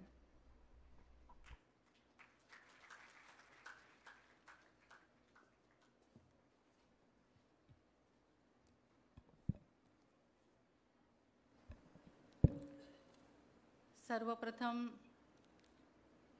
सर्व लातूरकरांना माझा मनापासून नमस्कार. मी हे माझं सौभाग्य समजते की अक्का फाउंडेशन ज्याला आज सहा वर्ष पूर्ण होत आहेत आणि अशा या सोहळ्यामध्ये प्रोजेक्ट आनंदी याचा शुभारंभ होतो आहे आणि आज त्यांचा वाढदिवस आहे या सोहळ्याला मला उपस्थित राहण्यासंदर्भामध्ये आमदार महोदयांनी विनंती केली आणि मी आले आणि मला खरोखर आनंद होतो आहे की या ठिकाणी मी आज आपल्या उत्साहामध्ये सहभागी झालेली आहे. अक्का फाउंडेशनच्या संदर्भामध्ये मी बऱ्यापैकी सगळं बघत होते. खूप मोठं काम आहे. त्यामुळे मी अक्कांचं अभिनंदन करते. वाढदिवसाच्या शुभेच्छाही देते. खूप छान काम चाललं आहे आपली मुलंही खूप छान काम करतात आहे. आपले आमदार महोदय जे आहेत आपले चिरंजीव ते तर छान काम करतातच आहे. पण मला वाटतं अरविंद आणि आमची प्राजक्ता ती पण छान काम करते. सगळं घराणंच छान काम करत. आहे सकाळपासून मी बघते खरंच छान वाटतं आहे या ठिकाणी उपस्थित असलेले तांबोळीजी त्यानंतर या ठिकाणी आजपासून मी त्यांना माझा भाऊ मानणारे लहान असे आदरणीय आमदार आपले लाडके आमदार संभाजी पाटील निलंगेकरजी या ठिकाणी उपस्थित असलेले खासदार महोदय दोन्ही आजी माजी दोघांनाही नमस्कार. या ठिकाणी उपस्थित असलेले सर्व पदाधिकारी डॉक्टरगण बहुतांश एन जी ओचे सभासद आलेले आहेत असंही मला सांगण्यात आलं. खूप साऱ्या विद्यार्थिनी इथं आलेल्या आहेत. आणि खूप बरं वाटतं हे सगळं बघून की आजच्या या एका वेगळ्या कार्यक्रमामध्ये तुम्ही सहभागी झाला आहात. आणि खास करून आमचे भाऊ सगळे सहभागी झाले. अन्यथा हा केवळ महिलांचा कार्यक्रम आहे. फक्त महिलांनी बसावं महिलांनी ऐकावं आणि महिलांनीच त्याची अंमलबजावणी करावी अशा पद्धतीचा कार्यक्रम प्रत्येक ठिकाणी नेहमी घेतला जातो. परंतु आज एका पुरुष आमदारांनी इनिशिएटिव्ह घेऊन या ठिकाणी घेतला आहे त्याबद्दल मी त्यांचे मनापासून आभार मानते आणि अभिनंदन करते.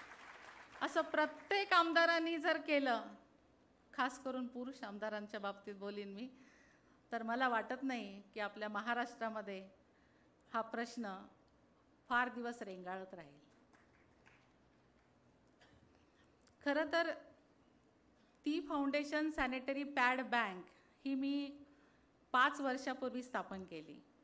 त्याला अठ्ठावीस मेला मेन्स्ट्रल हायजीन डे होता जागतिक मासिक पाळी स्वच्छता दिवस. त्याला पाच वर्ष पूर्ण झाले या अठ्ठावीसला.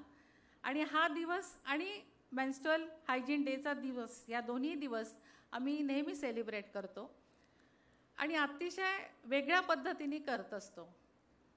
माझा ती फाउंडेशन हा एन जी ओ आहे जो महिला सक्षमीकरणाकरता काम करतो तो खूप जुना आहे.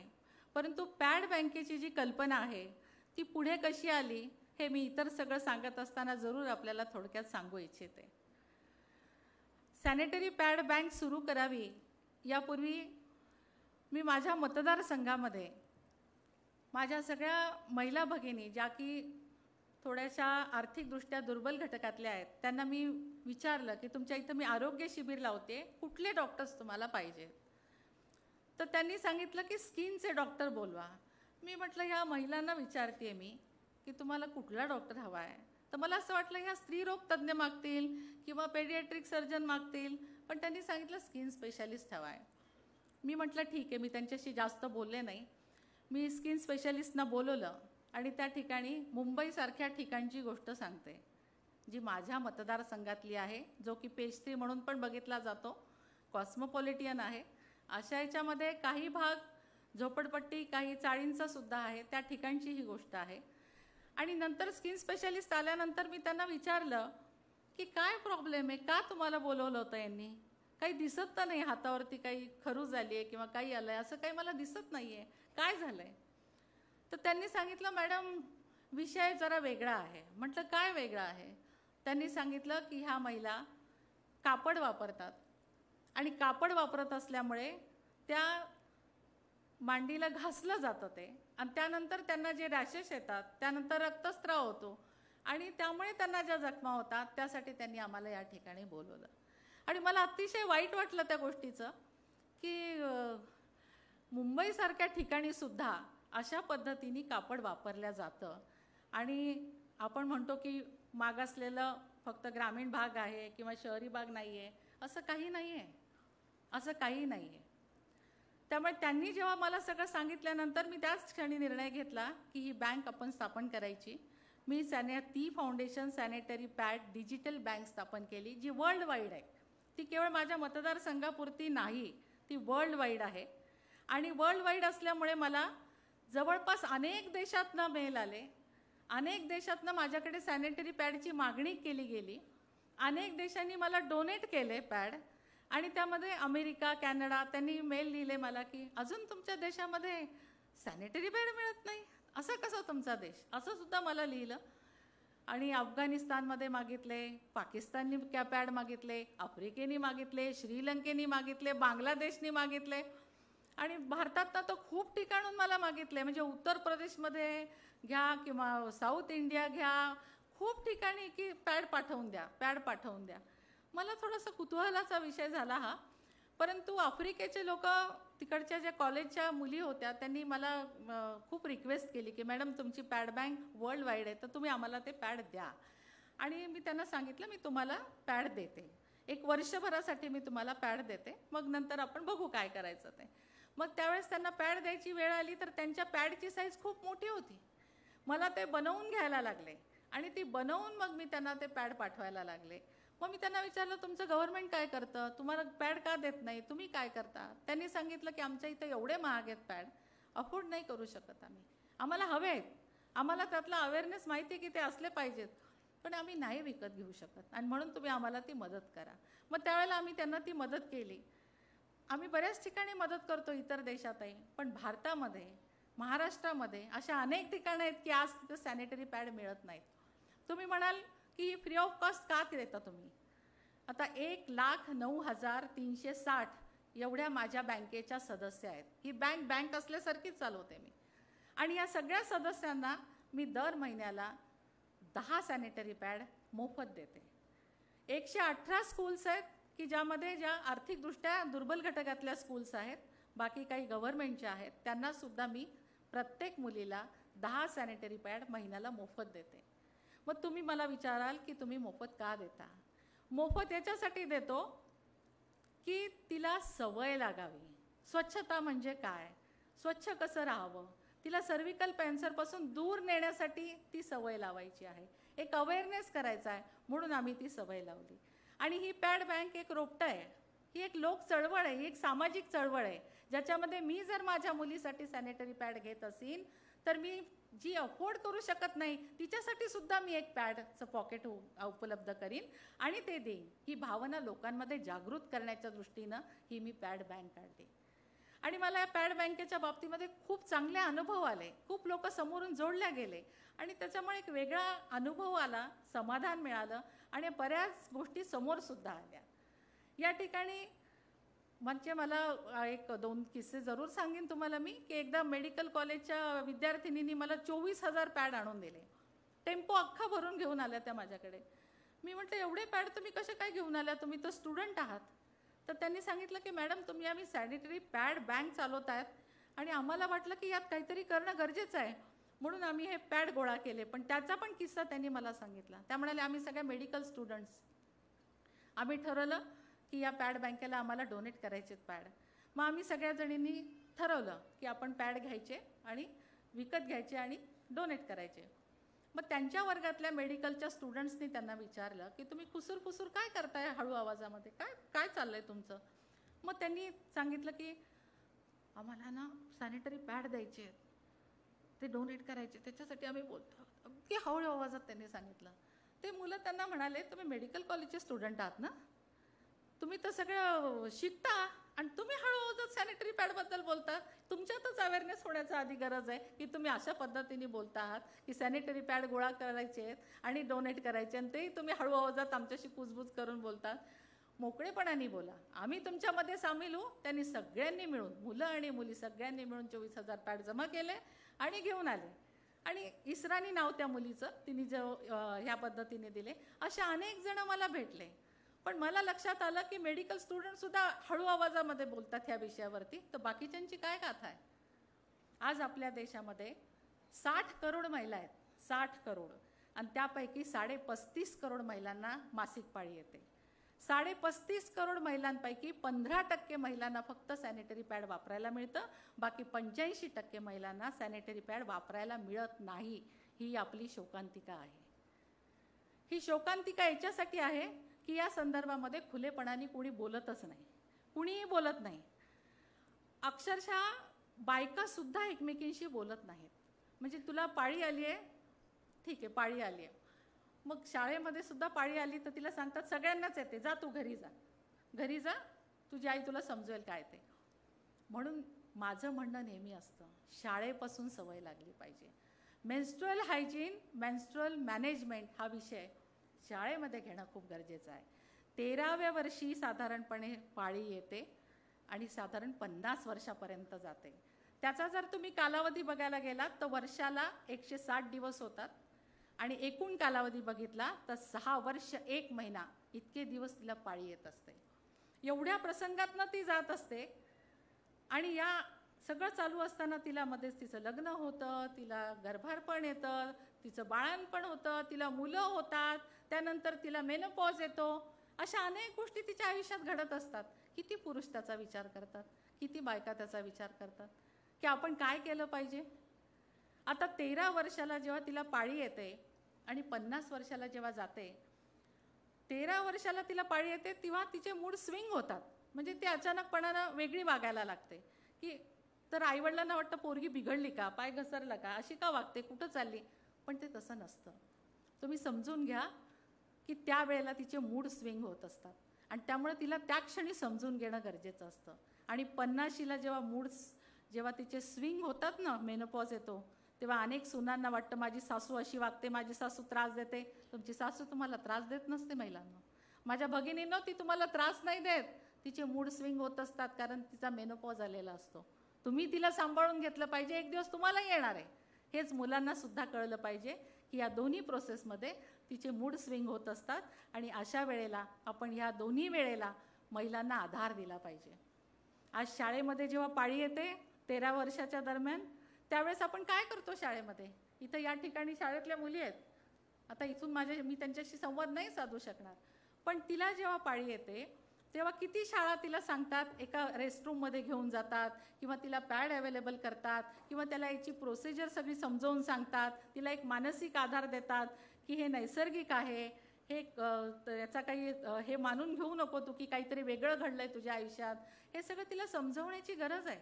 आणि म्हणून आम्ही ती फाउंडेशन सॅनिटरी पॅड बँकेच्या माध्यमातून मेन्स्ट्रल हेल्थ किट तयार केलेत जे की फर्स्ट एड बॉक्ससारखे आहेत. म्हणजे फर्स्ट एड बॉक्स कसा तुम्हाला मार लागला तर ताबडतोब तुम्हाला एक पट्टी मिळते लगेच आपण त्याला मलम लावतो आयोडीन लागतो.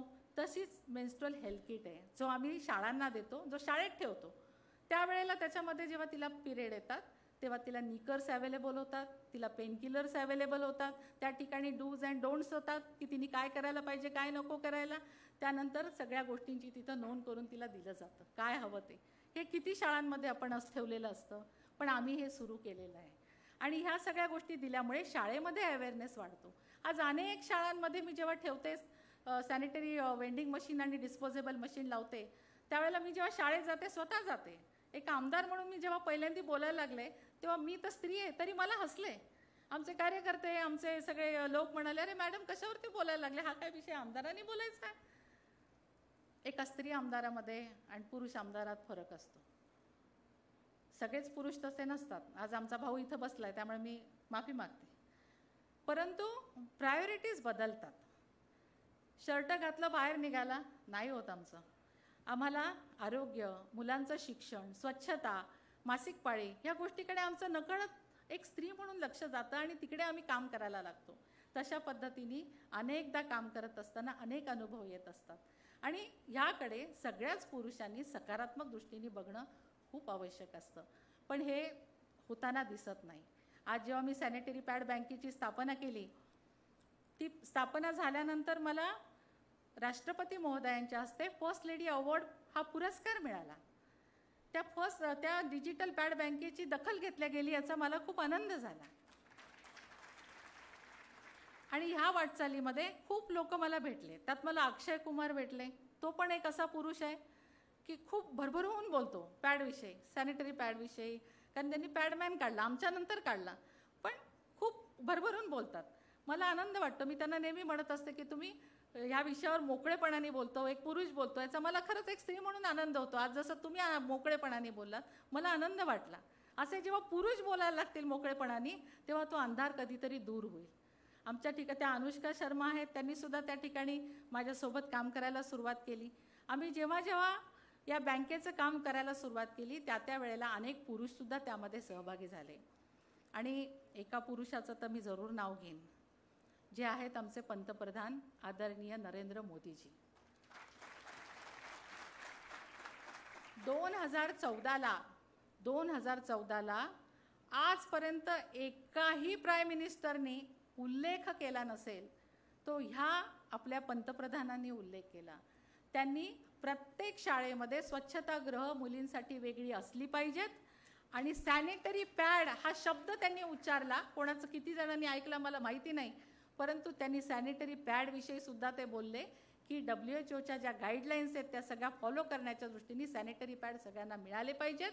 आणि प्रत्येक श शाळेमध्ये मुलींसाठी वेगळं स्वच्छतागृह असलं पाहिजे. हे ते स्वतः बोललेत. आतापर्यंत मी एकही प्राईम मिनिस्टर पाहिलेला नाही. पक्षाच्या पलीकडे जाऊन सांगते असा महिलांच्या बाबतीत बोलणारा त्यांच्या हिताच्या दृष्टीने आरोग्याच्या दृष्टीने बोलणारा पहिला पंतप्रधान मी बघितला. आणि माझ्या मनामध्ये त्यांच्याविषयी जेवढी काही आस्था होती आद आदर होता तो दुपटीने वाढला. कारण अशाच नेत्यांची आम्हाला गरज आहे की जे सगळ्या समाजाला सगळ्या समाजातल्या पन्नास टक्के असलेल्या आमच्या सगळ्या स्त्रियांना सोबत घेऊन जातील. त्याशिवाय हा समाज सुधारणार नाही.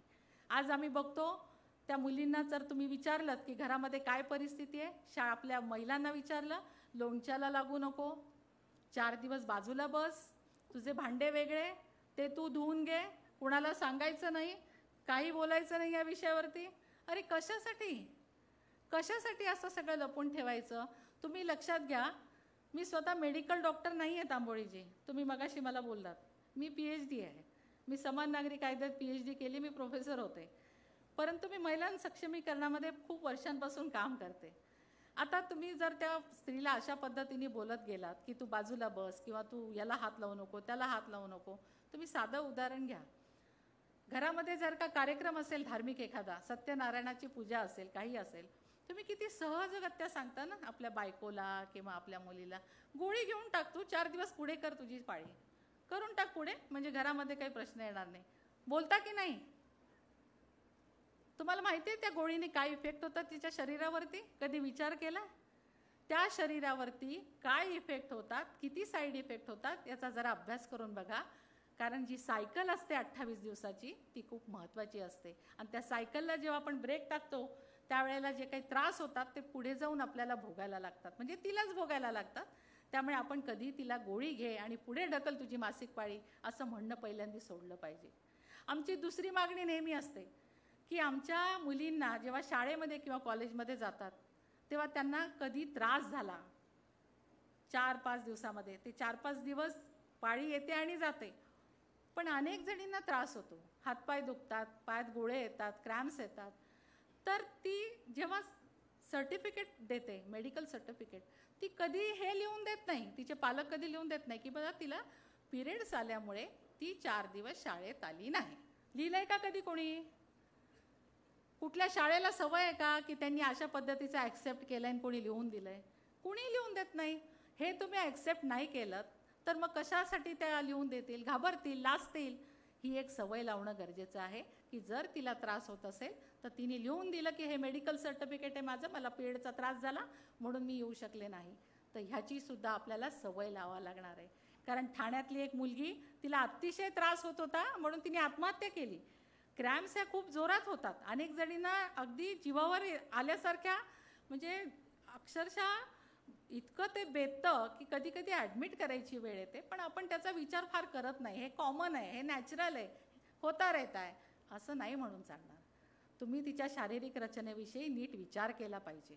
आपण साधी जाहिरात बघा सॅनिटरी पॅडची तुम्ही मला सांगा पॅडमधच्या बाबतीत कुठलं ब्लड दाखवतात? कुठल्या कलरचं ब्लड असतं?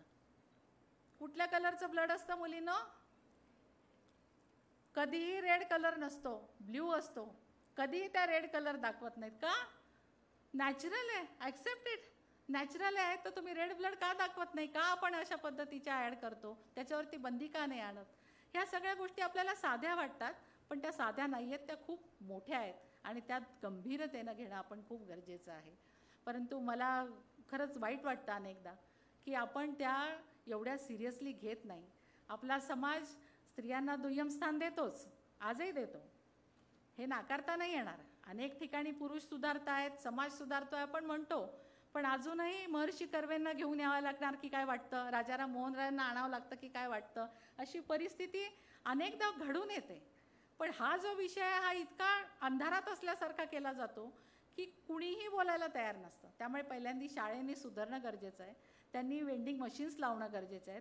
आणि पाटील साहेब तुम्ही जेव्हा माझं भाषण ऐकलं विधानसभेतलं त्यावेळेस मी बोलत होते कारण अर्थसंकल्पामध्ये आपल्या या वर्षीच्या अर्थसंकल्पामध्ये त्यांनी डिस्पोजेबल मशीन्स लावण्यासाठीच्या निधी तरतूद केलेली होती. आणि त्या अनुषंगाने मी त्या ठिकाणी भाषण दिलं होतं.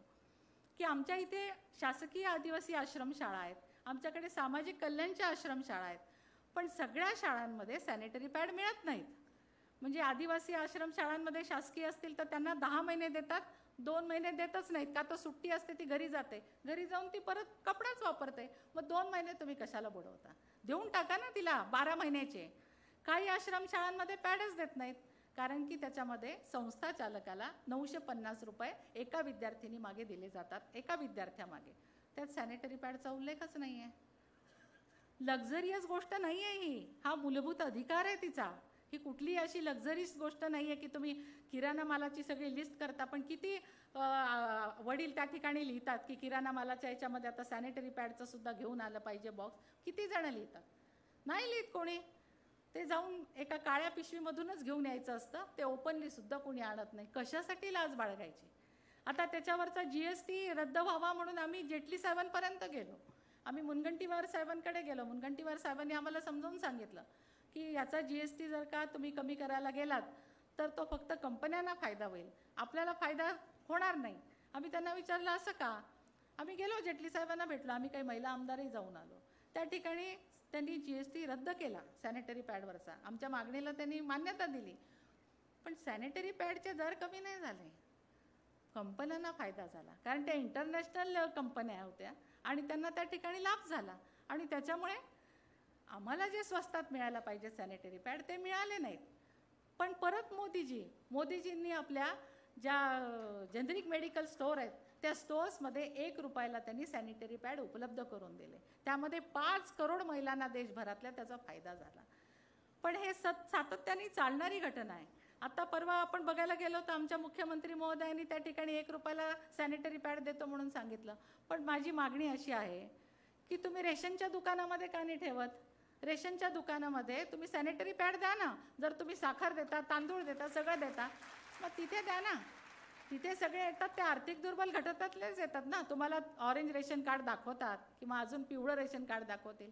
त्यांना तुम्ही सॅनिटरी पॅड तिथे अवेलेबल करून द्या. पण ती भूमिका कोणी देत नाही आणि कोणी ती स्वीकारतच नाही. आणि म्हणून विधानसभेमध्ये मी भाषण करताना तेच सांगितलं की जर सॅनिटरी पॅड त्या मुलींना मिळतच नसतील तर डिस्पोजेबल मशीनमध्ये तुम्ही काय टाकणार आहात? डिस्पोजेबल मशीन जेव्हा उपयोगाची जेव्हा तुमच्याकडे सॅनिटरी पॅड असतील. सॅनिटरी पॅड नाही आणि डिस्पोजेबल मशीन लावाल तर त्याचा काहीच उपयोग नाही आहे आणि आज तुम्ही जर कचऱ्याचा विषय बघायला गेलात तर मुंबईतलं उदाहरण देते तुम्हाला. एकूण कचऱ्यापैकी एकूण घन कचऱ्यापैकी सहा टक्के कचरा हा सॅनिटरी पॅडचा असतो. सहा टक्के कचरा. आणि सहा टक्के कचरा जो आहे तो एक तर टॉयलेटमध्ये फेकला जातो चोकअप होतं अनेक गोष्टी घडतात. मग ते टॉ ते पॅड कसे असावेत? हाही एक गहन विषय आहे. ते बायोडिग्रेडेबल असणं गरजेचे आहे की जमिनीमध्ये पुरल्यानंतर ते आतमध्ये विरघळून जातील. अशा पद्धतीचे पॅड म्हणजे इको फ्रेंडली म्हणूया त्याला. ते घेण्याची गरज आहे. अशा अनेक गोष्टी याच्यामध्ये येत राहतात आणि कराव्या तेवढ्याच कमी आहेत. आज आपण डब्ल्यू एच ओची गाईडलाईन्स जर बघायला गेलो तर त्याच्यामध्ये प्रत्येक स्त्रीला स्वच्छता गृह स्पेशल असणं म्हणजे स्त्रियांसाठी नंतर त्या ठिकाणी वेंडिंग मशीन असणं सॅनिटरी पॅड मिळणं आणि भरपूर पाणी हे असलंच पाहिजे असं सांगितलं आहे आणि दोन हजार पंधरा साली आपल्या केंद्र सरकारने स्वच्छ भारत अभियानामध्ये मेन्स्ट्रल हायजीन हा विषय इन्क्लूड केला. हा इन्क्लूड केला आपल्या सरकारने आणि त्याच्यामुळे त्या ठिकाणी आपल्याला स्वच्छ भारत अभियानाच्या अंतर्गत या सगळ्या गोष्टी आता करायला मिळतात. आणि हा एक मोठा विषय मोदीजींनी त्या ठिकाणी सोडवला हे महत्त्वाचं या ठिकाणी मला सांगायला आवडेल. आपण जेवढा विषय या विषयावरती बोलू तेवढं कमी आहे. कारण सॅनिटरी पॅड या विषयावरती आम्ही अनेक अवेअरनेस कॅम्प घेतो. प्रत्येक शाळेत जातो कार्यक्रम घेतो. त्या ठिकाणी जेव्हा जेव्हा शाळेत मी स्वतः जाते तेव्हा मी जेव्हा वेंडिंग मशीन लावून देते तेव्हा ते म्हणतात की आता महिलांचा कार्यक्रम आहे आम्ही सगळे बाहेर चाललो. प्रिन्सिपल बाहेर शिपाई बाहेर सगळे बाहेर फक्त महिला बसतात. म्हटलं नाही तुम्ही बसा. तुम्ही बसण्याची गरज आहे. तुम्ही या ठिकाणी बसलात ना तर तुम्हाला आधी अवेअरनेस आम्हाला करता येईल तुमच्या बाबतीमध्ये. तर समाज सुधरेल. नवरा सुधारला तर घर सुधारतं. वडील सुधारले तरी घर सुधारतं. त्यामुळे घरामध्ये हा जो आहे ना टॅबो तो जर दूर करायचा असेल तर पुरुषांपासून सुरुवात होणं गरजेची आहे महिलांपासून नाही. त्यामुळे अपेक्षा फक्त तुम्ही महिलांकडनं करू नका. तुमच्यापासून करा. आणि म्हणून जेवढे जास्त पुरुष इथं ब बसवलेत त्याचं मी उलट आणखी पुरुषांना बोलवायला पाहिजे होतं माझ्या भावांना की त्यांना हा विषय या ठिकाणी समजून घेता आला असता.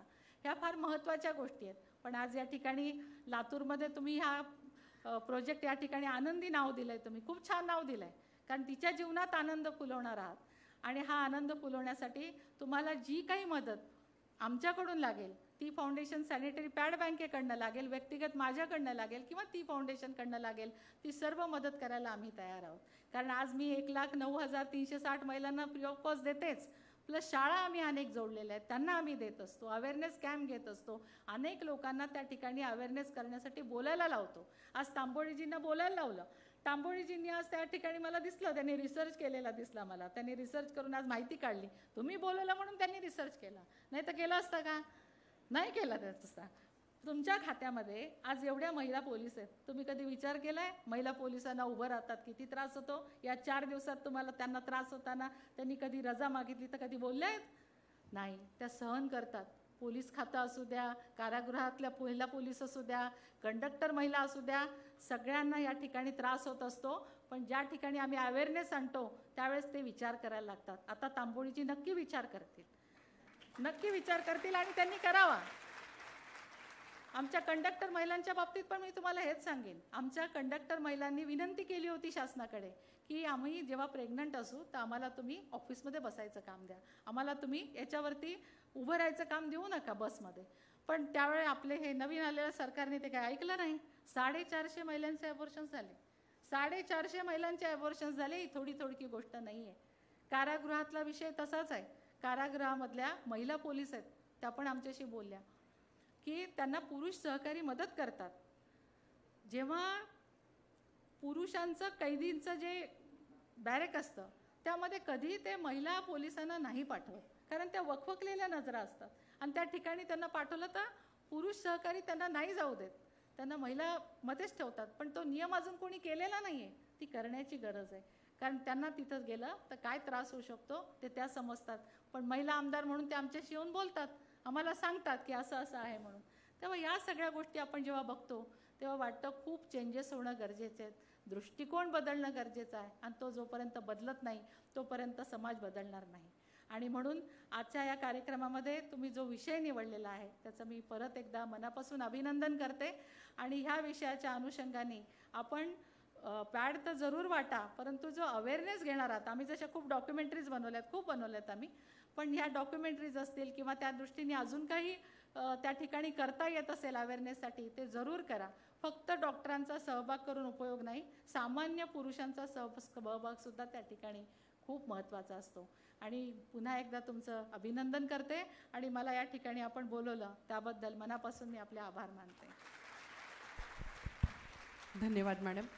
यानंतर अक्का फाउंडेशनच्या प्रेरणास्थान असलेल्या आजच्या कार्यक्रमाच्या अध्यक्षा माननीय श्रीमती रुपाताई पाटील निलंगेकर यांना विनंती करते अध्यक्षीय समारोपासाठी.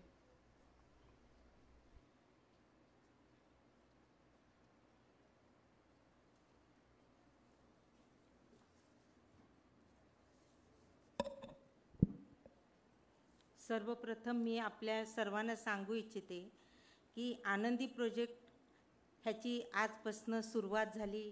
त्याच्यासाठी आपण सर्वजण आलात. मी आपल्या सर्वांना धन्यवाद देते. आणि या कार्यक्रमास उपस्थित असलेले माननीय आमदार डॉक्टर भारतीताई लवेकर तसेच माननीय श्री निसारजी तांबोळी सर उपस्थित सन्माननीय खासदार सुधाकररावजी श्रंगारे सन्माननीय ज्यांनी हा कार्यक्रम आयोजित केला आमदार संभाजीराव पाटील निलंगेकर मा तसेच माजी आमदार शिवाजीरावजी पाटील कवेकर तसेच या कार्यक्रमास उपस्थित असलेले श्री निखिल पिंगळे तसेच गोविंदांना केंद्रे शैलेशजी लाहुटी गुरुनाथजी मगे आणि या कार्यक्रमास आवर्जून उपस्थित असलेले सर्व डॉक्टर्स आणि विद्यार्थिनी सर्व येथे या सभागृहात जे उपस्थित आहेत त्यांना माझा नमस्कार. खरं तर विषय हा खूप नाजूक आहे. आता सरांनी आणि मॅडमनी बोलल्या पण मला असं वाटतं नाजूक म्हणून आपण त्या गोष्टीकडं किती दिवस कानाडोळा करायचा?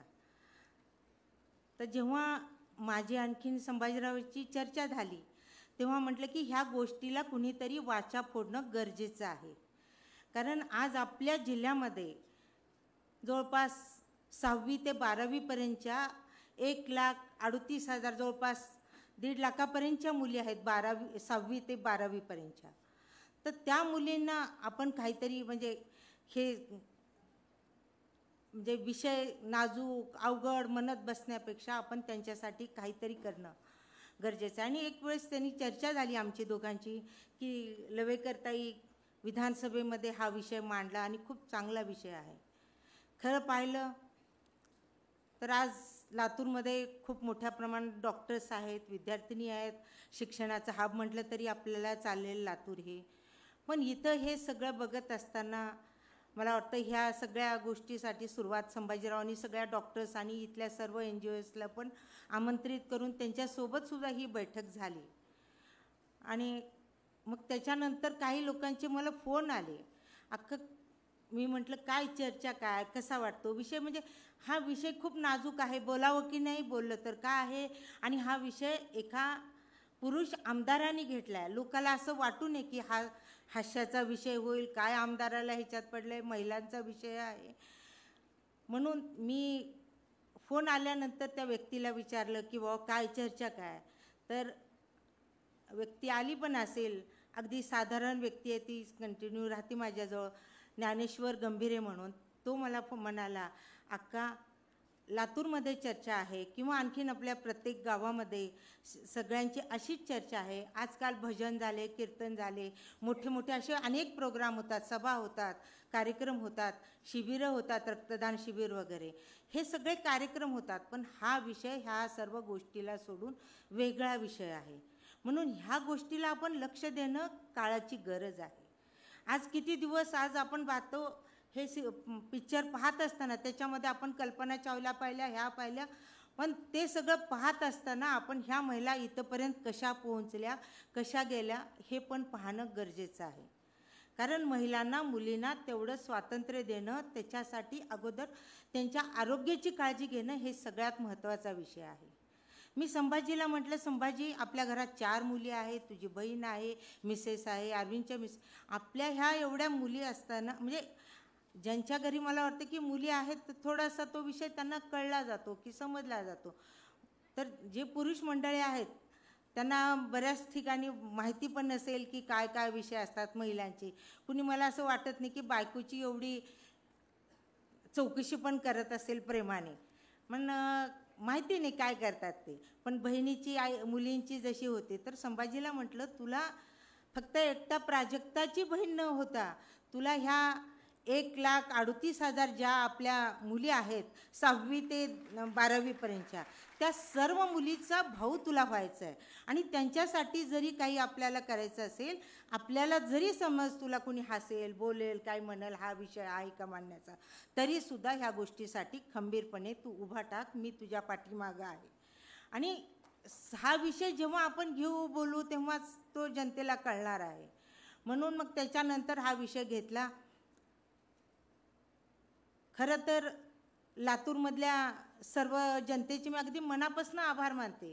मी एक सामान्य महिला तर आज आपण नेऊन मला एवढ्या मोठ्या ठिकाणी बसवलं मी सगळेजण लात दिल्लीपर्यंत मला आपण पोहोचलो. कशाने? तर आपल्या सर्वांच्या आशीर्वादाने.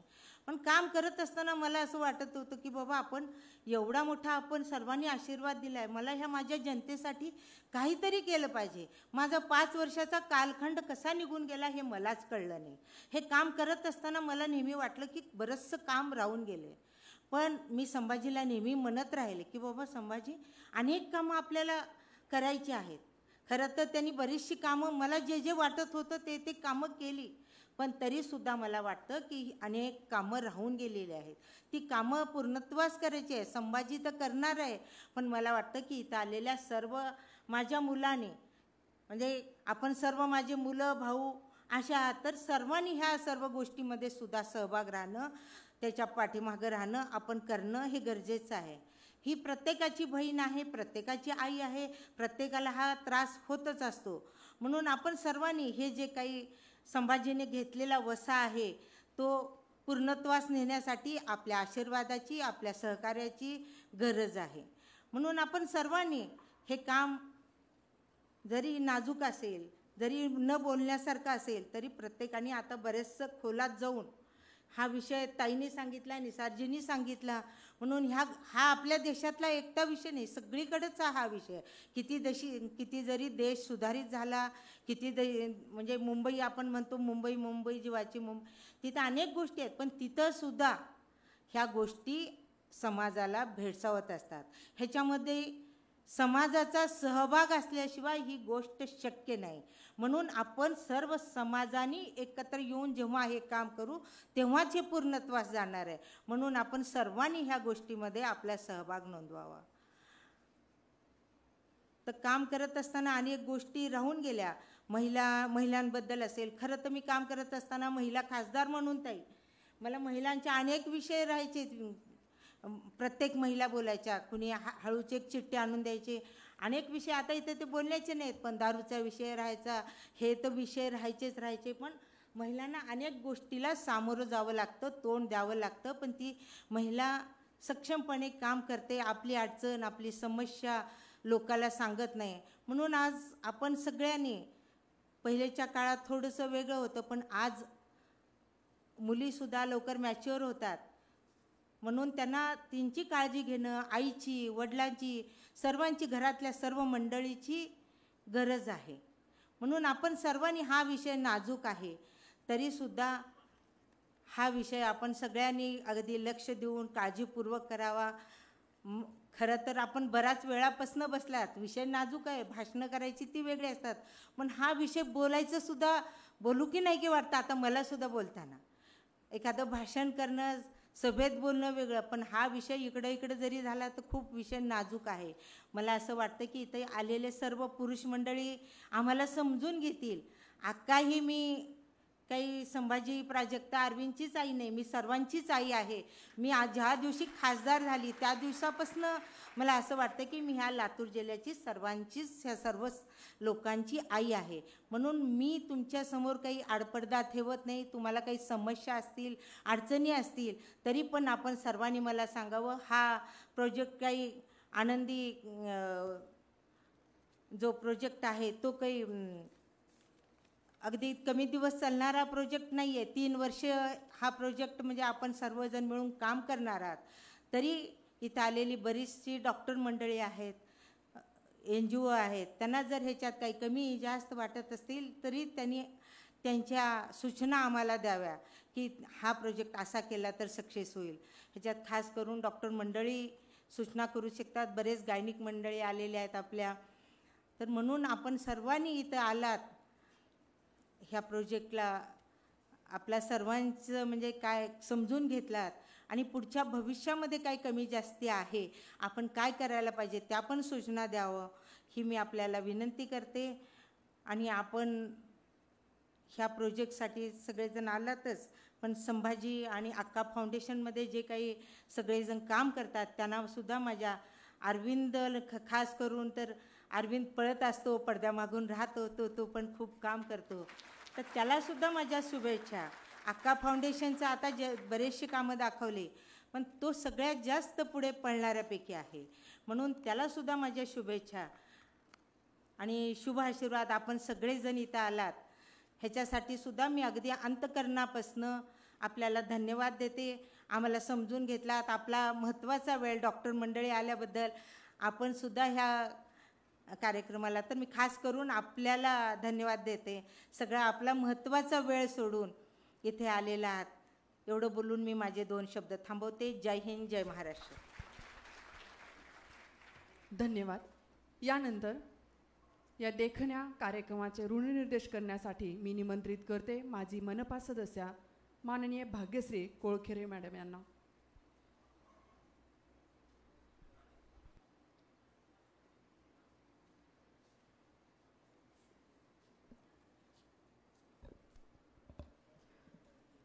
सर्वांना नमस्कार. आका फाउंडेशनद्वारा आयोजित प्रोजेक्ट आनंदीच्या शुभारंभ कार्यक्रमासाठी संस्थापक टी फाउंडेशन तथा विधानसभा सदस्या माननीय आमदार डॉक्टर भारती लवेकर मॅडम ह्या मुंबईहून आपल्या सर्वांच्या आग्रहास्तव येथे उपस्थित राहिल्या व आपल्याला मोलाचं मार्गदर्शन केलं. मॅडम आपण खूपच लहान लहान गोष्टींचं इथं अवेअर अवेअरनेस दिलेलं आहे.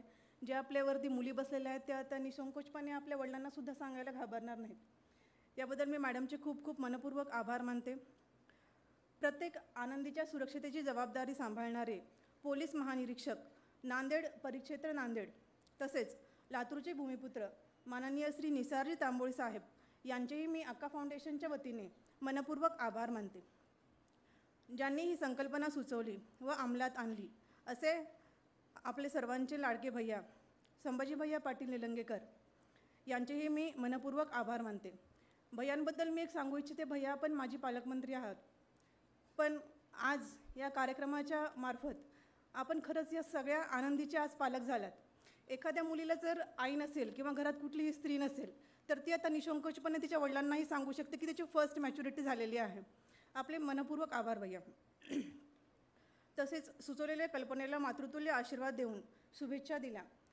अशा आपल्या माननीय आकासाहेब रुपाताई पाटील निलंगेकर यांचेही मी मनापू मनपूर्वक आभार मानते व अक्कांना जन्मदिनाच्या खूप खूप शुभेच्छा देते. तसेच बॅकस्टेज सपोर्टर अरविंद भैया पाटील निलंगेकर व प्राजक्ताताई यांचेही मी मनपूर्वक आभार मानते. तसेच येथे आलेले सर्व मान्यवर सुधाकरजी शृंगारे साहेब राहुलजी केंद्रे साहेब शैलेशजी लाहोटी शिवाजीराव पाटील कवेकर साहेब सी ओ गोयल सर जिल्हा परिषदचे सर्व सदस्य सर्व doctors Nikhilji Pingale sir Dilipji Deshmukh sir Mage sir या सर्वांचे मी मनपूर्वक आभार मानते व तसेच येथे आलेले सर्व मान्यवर व उपस्थित असलेले सर्व आनंदीचे सर्व आनंदीचे वरील वर बसलेल्या सर्व विद्यार्थ्यांचे अक्का फाउंडेशनतर्फे मनपूर्वक आभार मानते व या कार्यक्रमाचा समारोप या नॅशनल अँथम याच्याने होईल अशी मी सर्वांना विनंती करते.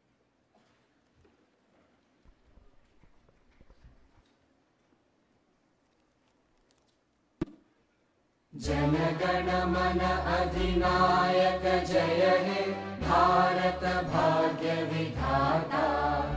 पंजाब सिंध गुजरात मराठा द्राविड उत्कल बंगा विंध्य हिमाचल यमुना गंगा उच्चल जलधि तरंगा तव शुभ नामे जागे तव शुभ आशिष मागे गाहे तव जयगाथा। जनगणमङ्गलदायक जय हे भारत भाग्य विधाता जय हे जय हे।